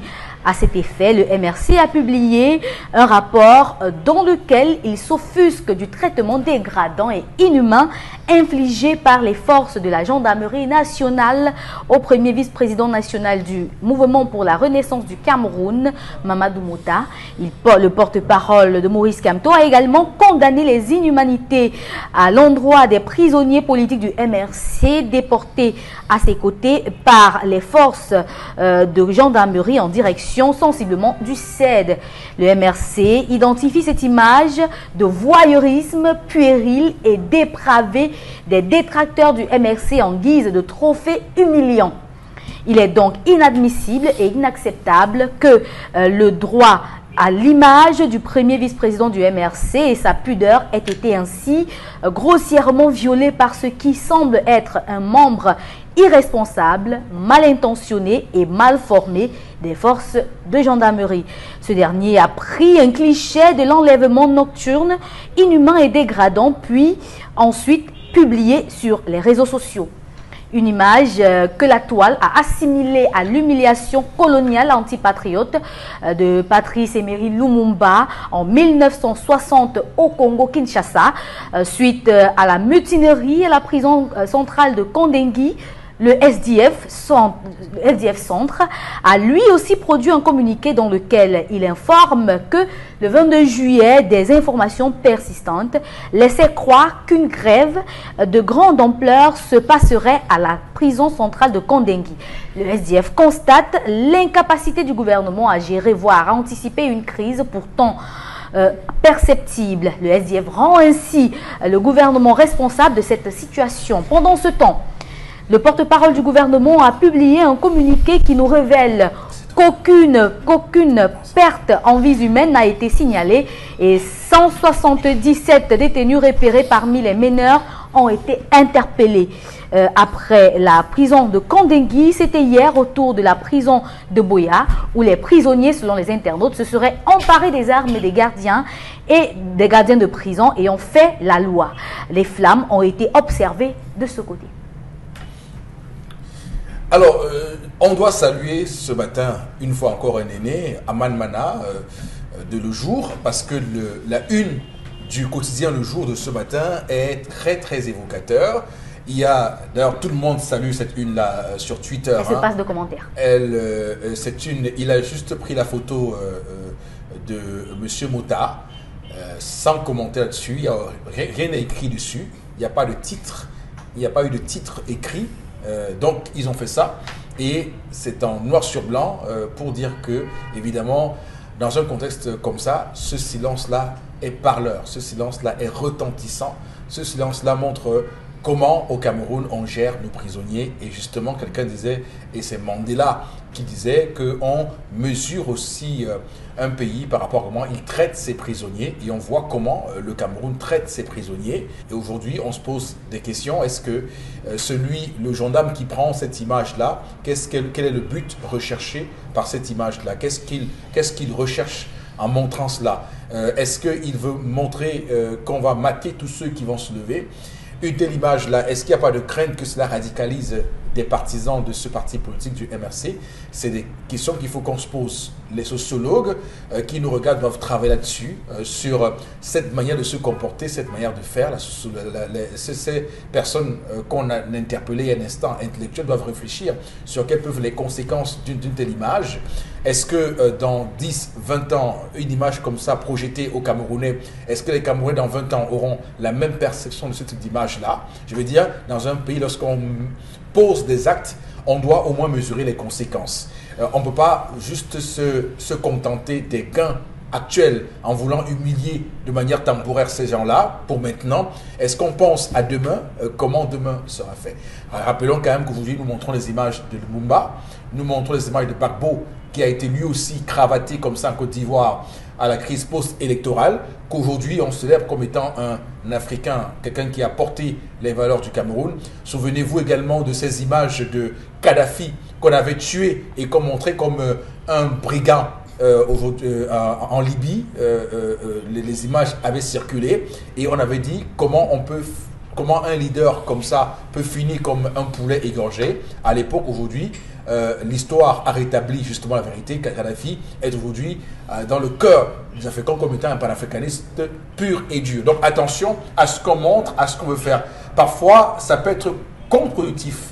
Et là, c'est le cas parce que au lieu de l'humilier, au final, cette humiliation-là devient une force pour lui, qui devient finalement M. Mota, comme on dit, euh, un héros, un martyr de, des souffrances des Camerounais qui tous les jours subissent cette répression qui tous les jours subissent beaucoup de choses et qui se reconnaissent dans cette image-là. Bobo Bengan, euh, commentaire. Oui, j'ajoute, je partage tout à fait votre développement. J'ajoute simplement pour qu'on se comprenne bien, et vous avez bien dit, il a été sorti des prisons euh, de Centrale de Kondengui la nuit, dans un environnement où tout était bouclé. Ça veut dire que c'est un élément de force de maintien de l'ordre qu'il a filmé. Ça ne peut pas être... Euh, donc, pour quelles raisons envoie ces, éléments de force maintien de l'ordre, envoie-t-il une, telle image dans les réseaux sociaux? Mais connaissant que nous sommes dans un régime de tyrannie, d'oppression, de corruption, c'est juste pour dire que voici votre leader. Si vous osez, vous allez subir le même traitement. Et nous sommes prêts à aller jusqu'au bout.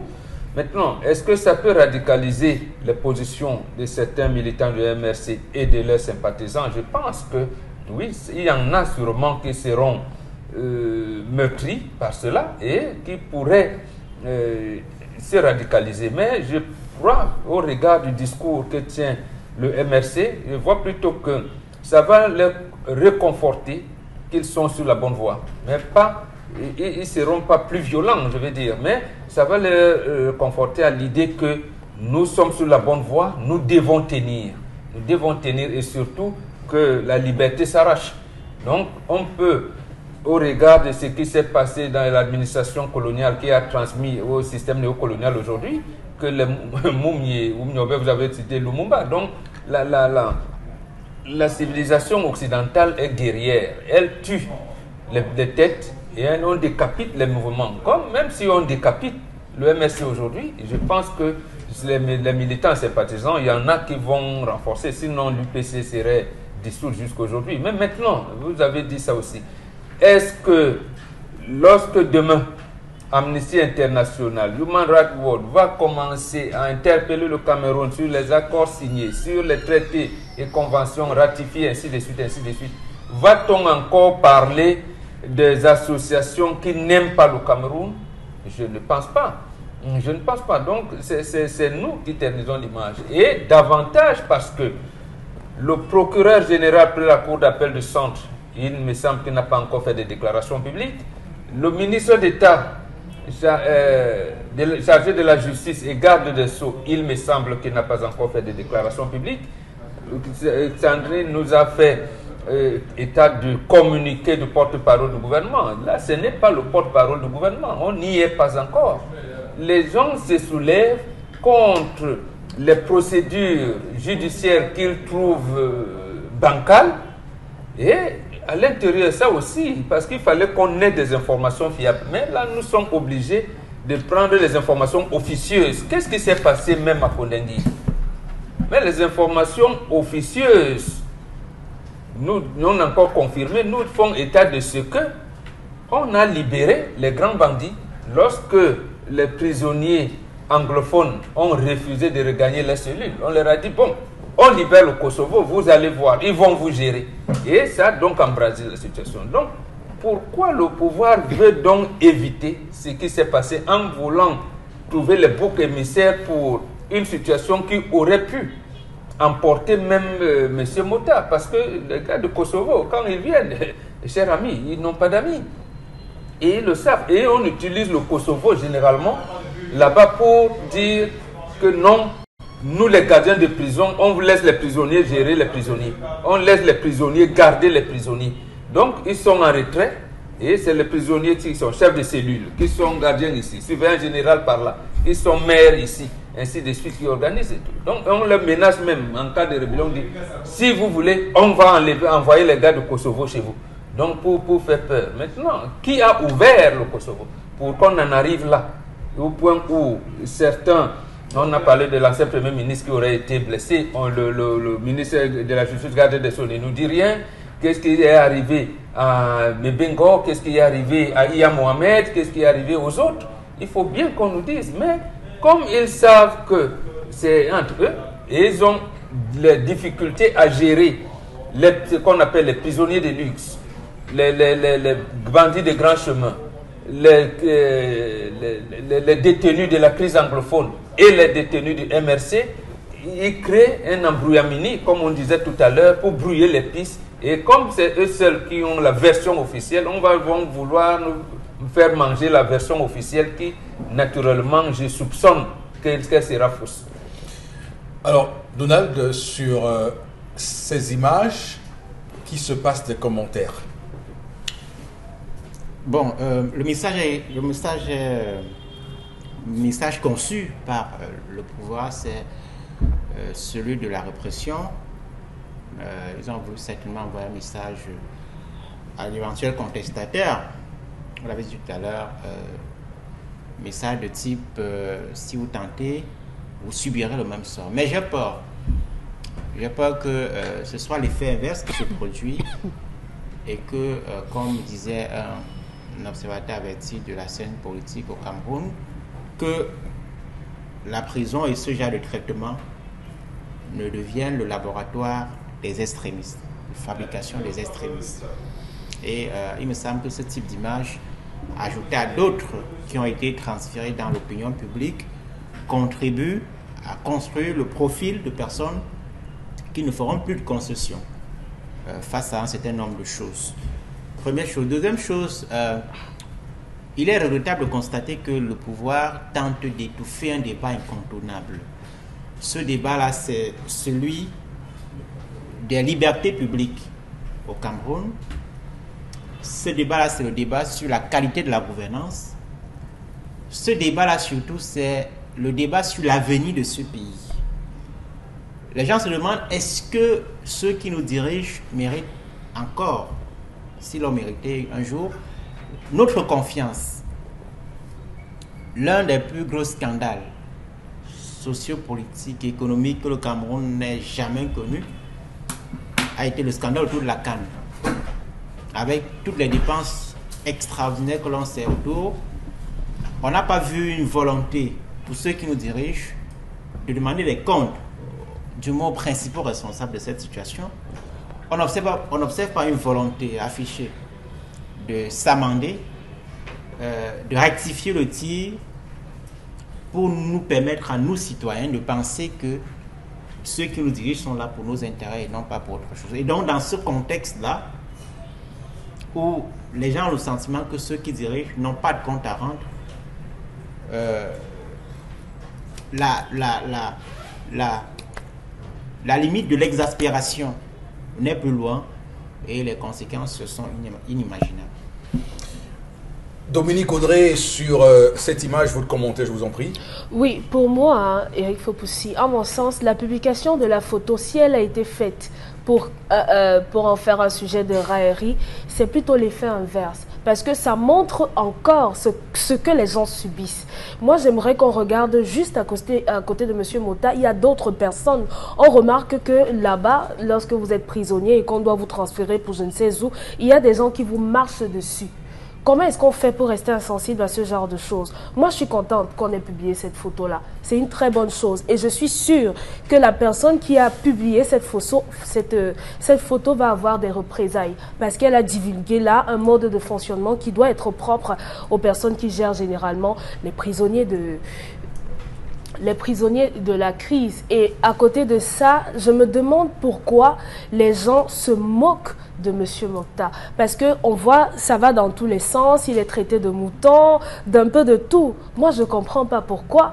Quelqu'un, il mène son combat, c'est personnel. Pourquoi les jeunes qui devraient se sentir interpellés, qui devraient se poser des questions sur l'avenir, sur leur avenir dans ce pays, voit en, son combat euh, euh, une mauvaise chose? Moi, je comprends. Je non, c'est pas, nouveau puisque Barbo en son temps avait été moqué euh, euh, Lumumba a été moqué, même Oumniobe a été raillé. Si vous disiez tout ce qu'ils disaient à l'époque, euh, tous ces gens tous ces leaders ont été raillés. Et hier, en voilà, quand on l'amène justement pour doubler les pour railleries. Doubler les railleries.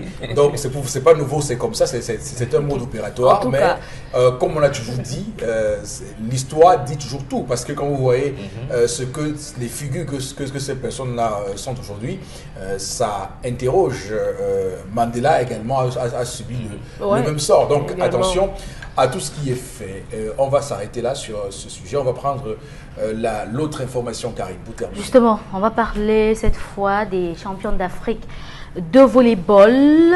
Elles ont été reçues hier euh, par le Premier ministre, chef du gouvernement, sous instruction du chef de l'État. Elles ont été brèvement, je dis brèvement, décoré au rang de commandeur du mérite sportif camerounais. Les Lions du volleyball ont tout, euh, ont tout de même gardé un arrière-goût euh, de cette rencontre car elles auraient souhaité être reçues euh, pour ce deuxième sacre consécutif par le président de la République. Mais une prime de 204 millions de francs CFA est prévue pour elle. D'accord. D'abord, le président Paul Biya a-t-il euh, snobé les volleyeuses? C'est euh, le messager qui en, qui en fait écho. Ce matin, on pourrait s'interroger pourquoi on a reçu les, les Lyon qui n'avaient même pas gagné la Cannes. Mhm. Souvenez-vous, à la présidence, qui n'avaient même pas gagné la Cannes, qui n'étaient que finalistes euh, de la Cannes, et elles qui sont doubles championnes en titre de la Cannes de volleyball, on ne les reçoit pas à la présidence de la République. D'abord, donc, on se pose la question, est-ce que la présidence a snobé ces volleyeuses? Deuxième élément, du protocole des tâches. Je trouve quand même que ces filles sont habillées d'une manière quand même très indécente. Elles ont les courtes jupes, elles croisent les pieds. Qui les a admises dans, ces choses-là comme ça? Parce que regardez encore les photos. Elles ont les courtes, les mini-jupes. Toutes. Qu'est-ce qui se passe? Je me pose la question. Elles n'ont pas cousu ces jupes. Ce sont des jupes qu'on a certainement données pour tout le monde. elles pouvaient venir avec des sous-vêtements. Non, je vous dis que ah, connaissant connaissant comment c'est assise euh, que c'est comme ça je vous dis connaissant comment le protocole se comporte parfois je suis très surpris qu'on ait laissé passer ça surtout à, ce, à ce niveau là on est quand même à la primature. Euh, on se plaint que c'est pas le bon niveau mais ça reste la primature. Sauf si vous considérez que le premier ministre au Cameroun euh, que quelqu'un dit ça non que le premier ministre ne sait à rien. Non. Il y a un état il y a des règles les gens doivent venir exhiber leurs cuisses comme on a vu là à la télé. D'ailleurs, j'estime que euh, on, on l'a montré pour davantage. Oui, parce qu'au final, ça nous distrait. Qui? Ça distrait. ça Puisque les commentaires qui sont désormais répétés, les gens, disent que non, les footballeurs sont moins belles que les, les volleyeuses. c'est ça, en fait, c'est le débat. Les gens, dans, dans leur subconscient, ont créé un faux débat les volleyeuses, au moins elles, elles ne sont pas comme les footballeuses. C'est ça nos yeux, monsieur Fopossi. Vous allez nous condamner de ce que nous voyons. Non, il y a des pratiques républicaines. On n'est pas là dans un défilé de mode. Si on était en défilé de mode, on ne les reprocherait pas ça. La preuve, sur un terrain de volleyball, elles jouent avec des culottes beaucoup plus petites que ça. Mhm. Ça, c'est la tenue du sport. Voilà. Vous sortez du sport, vous venez dans, au sein des institutions de la République, il y a un protocole d'État. Mhm. Même moi, bon, bon, moi, même si j'avais j'ai des bonbons qui allaient là-bas, on l'a dit.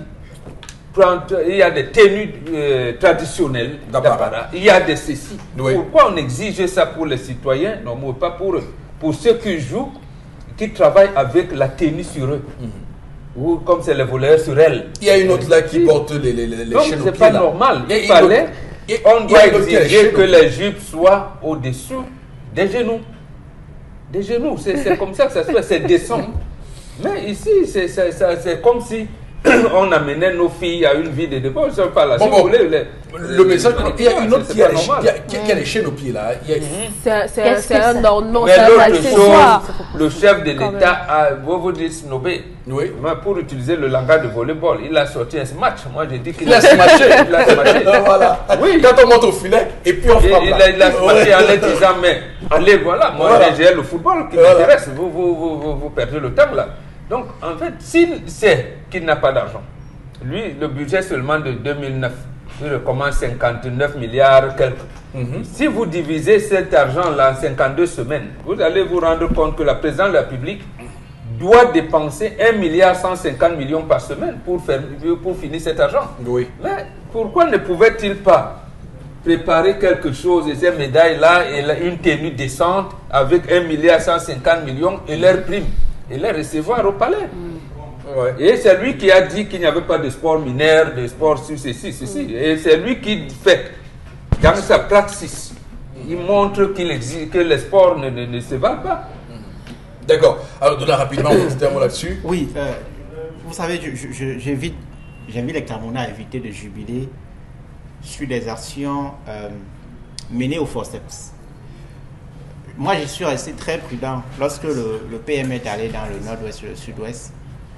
À l'époque, euh, je suis resté prudent. C'était estimé que nous étions pessimistes. J'avais dit que euh, la descente du PM dans le nord-ouest et le sud-ouest n'est pas un indicateur de ce que le dialogue est imminent. Euh, près de deux mois après, on attend le dialogue. au Cameroun, on a fait un régime hyper centralisé, tout se décide presse, tout ou presque se décide à la présidence de la République. D'accord. C'est urgent, c'est des mesures urgentes. Ce n'est pas parce que une action est posée, lorsqu'une action est posée au forceps, ce n'est pas l'expression d'une volonté politique de bien faire. D'accord, merci euh, Merci euh, Karim, merci Donald Dominique Audrey. On va s'arrêter là, malheureusement. On va prendre l'immigration canadienne tout de suite.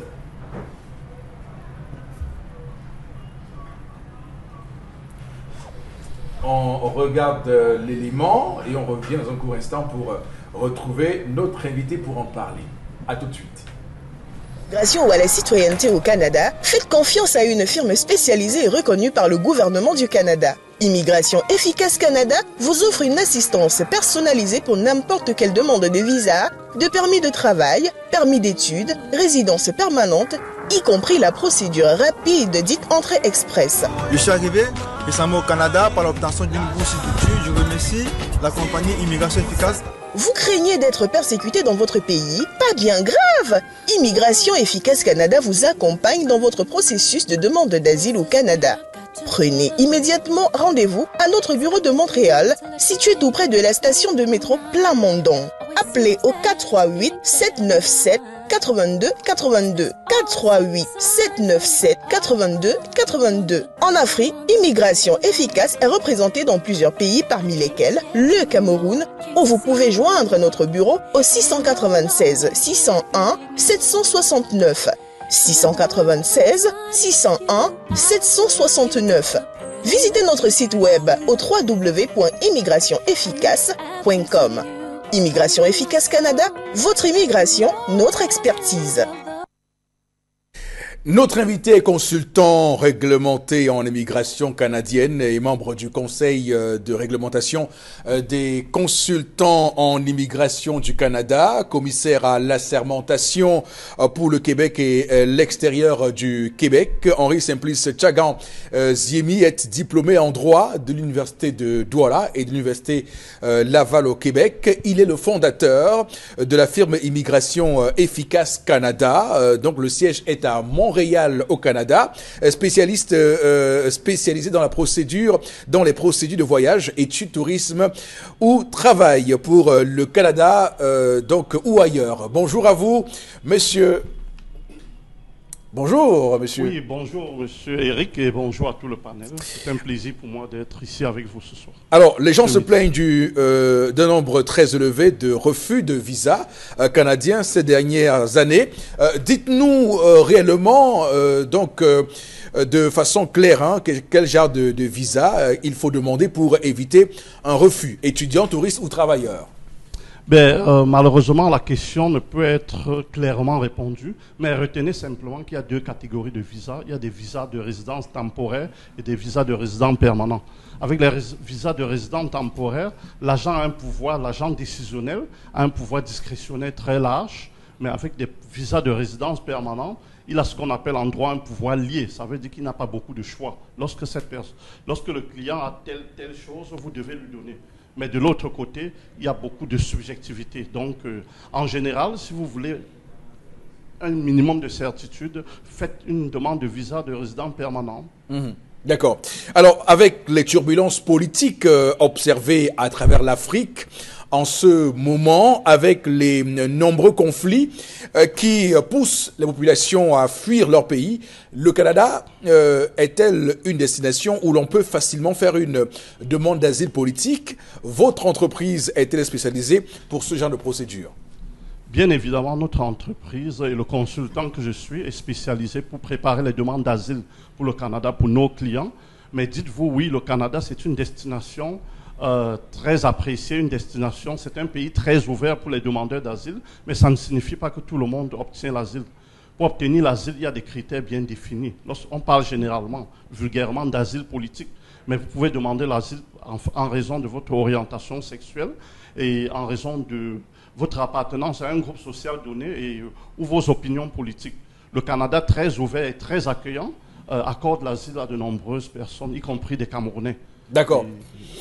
Alors, est-il permis de jouer à la loterie canadienne et euh, euh, américaine en même temps ou alors un choix s'impose?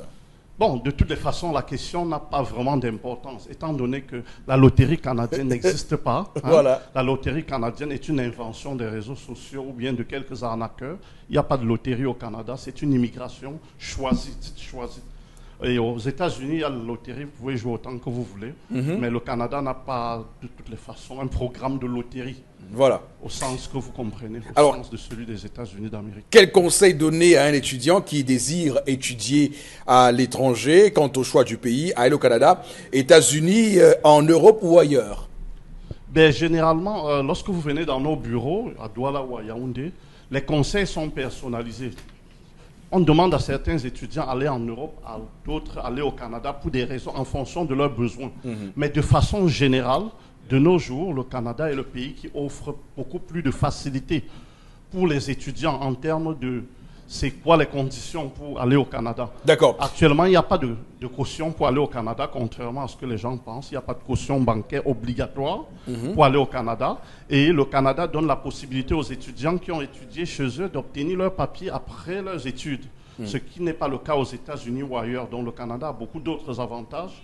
Les étudiants peuvent travailler. Il y a beaucoup de choses à faire. Et Donc, Alors- il y a vraiment beaucoup de choses à faire. Le Canada est la destination qui devrait être, à mon sens, privilégiée de façon générale. D'accord. Alors, pour combien de temps êtes-vous au Cameroun? Alors, pour euh, autant que mes clients veulent me rencontrer, autant que je peux servir mon pays, je crois que je serai là. D'accord. Disons quelques semaines. Vous êtes situé où à, à Douala, Yaoundé? Euh, à Douala, nous sommes situés euh, en face de l'entrée principale de Camtel à Bipanda, Mhm. Et au premier étage. Et à Yaoundé, nous sommes situés au-dessus de la pharmacie du Carrefour Emia. C'est à Mélène, à l'entrée polytechnique. Mhm. Et à Montréal, nous sommes situés à la station du métro, près de la station du métro Plamondon. C'est très facile, juste à la sortie du métro.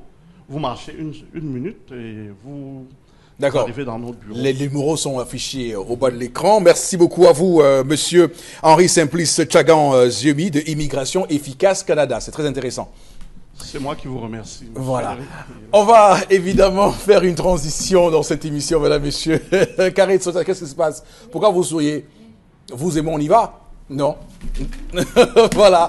Euh, tout de suite, madame, monsieur, on prend interpellation euh, dans ce programme.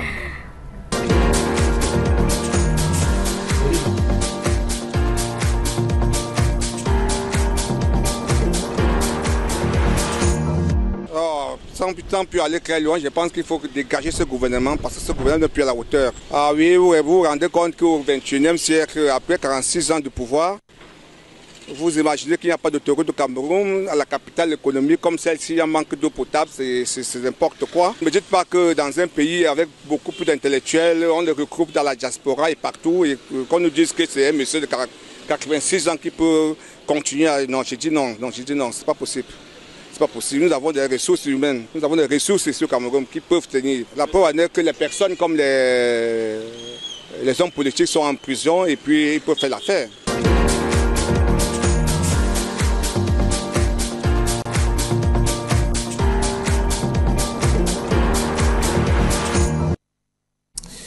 Voilà, donc euh, commentaire bien rapide sur cette affaire, sur euh, cette interpellation. Après 36 Cameroun, c'est un constat. Mais comme d'autres compatriotes, moi aussi, je suis ébahi, je suis surpris. Mais peut-être pas surpris parce que je, je sais depuis longtemps quand même que ce qu'il y a à faire pour l'épanouissement de ce pays, le renouveau ne peut plus le faire. D'accord. Et on connaît la formule, quand on ne peut pas, on laisse. Bon, bon, sur ce Non. plateau, vous savez que je ne vous laisserai pas dire ça. Oui, mais attendez, Bon, Aïe bon. doit démissionner. Non, mais nous ne sommes pas sur un plateau pour demander à que je sois démissionné. Non, mais attendez. Quand quelqu'un prête serment, moi j'ai prêté serment devant les ancêtres pour dire faire un certain nombre de choses. Mhm. Quelqu'un a prêté serment en 2004, il vous a dit priorité infrastructure routière. Mhm. Et quand au bout, aujourd'hui, nous sommes en 2019, nous ne sommes pas en droit de lui dire, mais Monsieur le Président de la République, vous avez prêté serment en 2004 en disant que vous allez faire une priorité pour les infrastructures. C'est où ces infrastructures routières-là? On avait promis les autoroutes, on a promis ci et ça, et ainsi de suite, il n'y en a pas. Maintenant, il n'y a même plus de voies ferrées. Si Mm. la- il n'y a pas de, de, de voies aériennes, il nous restait la route. Et même la, la route est dans cet état, on va marcher à pied. Et le chemin de fer entre Douala et Yaoundé? Non, il n'y en a pas. Vous avez le train où? Il n'y en a pas. On ne voit pas train au Cameroun entre Douala et Yaoundé, malheureusement. Alors, on va attendre qu'on Lamine, euh, euh, qui est en retard. On va prendre de- quelques messages, Karine. Oui. Oui. Euh, je suis vraiment déçu de vos analyses qui démontrent que vous- votre plateau encourage les brigands et est complice des ennemis de la paix. Cette photo de votre leader Mota ne prouve en aucun cas qu'elle a été prise en prison. Je vous mets à défi, prouvez-nous que cette photo vient de la prison. Vous critiquez tout sauf rien. Qu'elle soit prise le jour où il avait marché. Bon, bon, ou de d'abord, prison. non, non. mais attends. Et Première, non, c'est bon, c'est bon, pas la gendarmerie. première, bon, première précision, personne sur ce plateau n'est du MRC. Et voilà, non. Personne sur ce plateau n'est, à moins que je, je me trompe, est-ce qu'il y a quelqu'un qui a une carte du MRC sur ce plateau? Personne. Personne n'a une carte du MRC. J'ai Donc, pas de compte à rendre. Voilà, quand nous. Non, non, il faut préciser, je pense que les Camerounais, lorsque vous critiquez désormais, on vous taxe de MRC. C'est ce que j'ai vu désormais.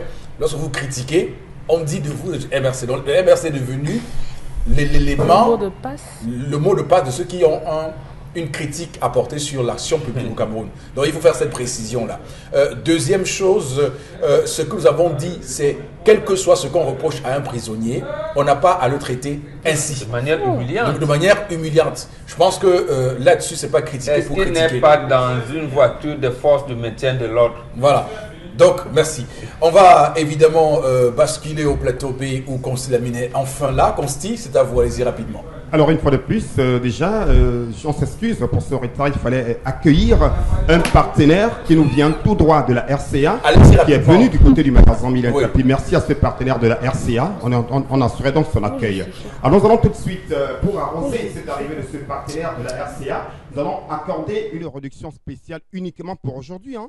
C'est pour euh, pardonner mon retard dans cette émission. Donc tous ceux qui vont commander le Von Bio Oméga 3 uniquement pour aujourd'hui, vous aurez encore droit à une réduction de 500 francs. Elle est valable uniquement pour ce mercredi. Donc uniquement pour ce mercredi, les premières personnes à appeler à nos numéros de téléphone qui s'affichent au bas de l'écran et qui vont commander que ce soit le Von Bio Oméga 3 ou la lotion Von Bio auront l'occasion de recevoir une réduction de 500 francs c'est une manière déjà, une fois de plus, de dire merci à tous ces clients qui nous font confiance, de dire merci à tous ces partenaires qui ne cessent de contacter le concept Salaka, notamment nos partenaires de la RCA. Alors, chers téléspectateurs, nous allons tout de suite euh, rappeler les bienfaits du Von Bio Oméga 3. C'est un complément alimentaire qui permet de réduire les complications du diabète. Il permet également de nous prévenir contre les AVC.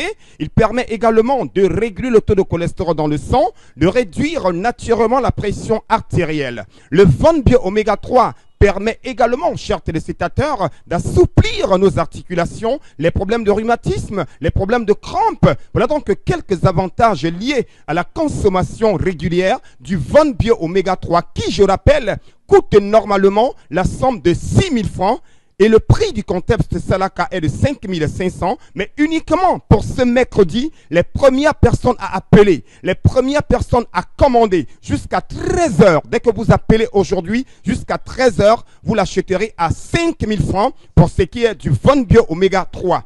À côté, bien sûr, du Von Bio Oméga 3, on parle également de cette lotion, de ce lait de toilette pour diabétiques. Oui, c'est lait de toilette qui embellit la peau des diabétiques. Il protège la peau des diabétiques. Il permet également de sécuriser la peau des diabétiques. Vous l'avez donc à 6 000 francs. C'est bel et bien le prix du concept Salaka, mais uniquement pour ce mercredi pour tous ceux qui vont appeler à partir de cet instant jusqu'à 13 heures, vous l'aurez à 5500 francs. Dès que vous appelez, même si vous passez demain ou ce soir, vous payerez la somme de 5500 francs et 5000 pour le Von Bio Oméga 3. Merci, chers téléspectateurs. Surtout, merci de faire confiance au concept Salaka. Et je donne rendez-vous à tous les clients du côté de Marois. Nous allons faire une grande caravane dans les prochaines semaines à Marois pour déjà dire merci à tous les clients qui nous aiment du côté de Marois. Merci. On va euh, continuer à lire les messages, quelques messages avant de sortir de l'émission rapidement, euh, Karine. Oui. Résoudre cette crise anglophone devrait être la priorité pour chaque Camerounais car il faut être là-bas pour connaître la désolation qui règne. Et la question que je me pose est pourquoi ce silence du président? Nous avons le plus beau miracle qui est près de nous par le biais de la paix. Les Camerounais ont soif de tranquillité, de pouvoir aller dans toutes les régions du Cameroun.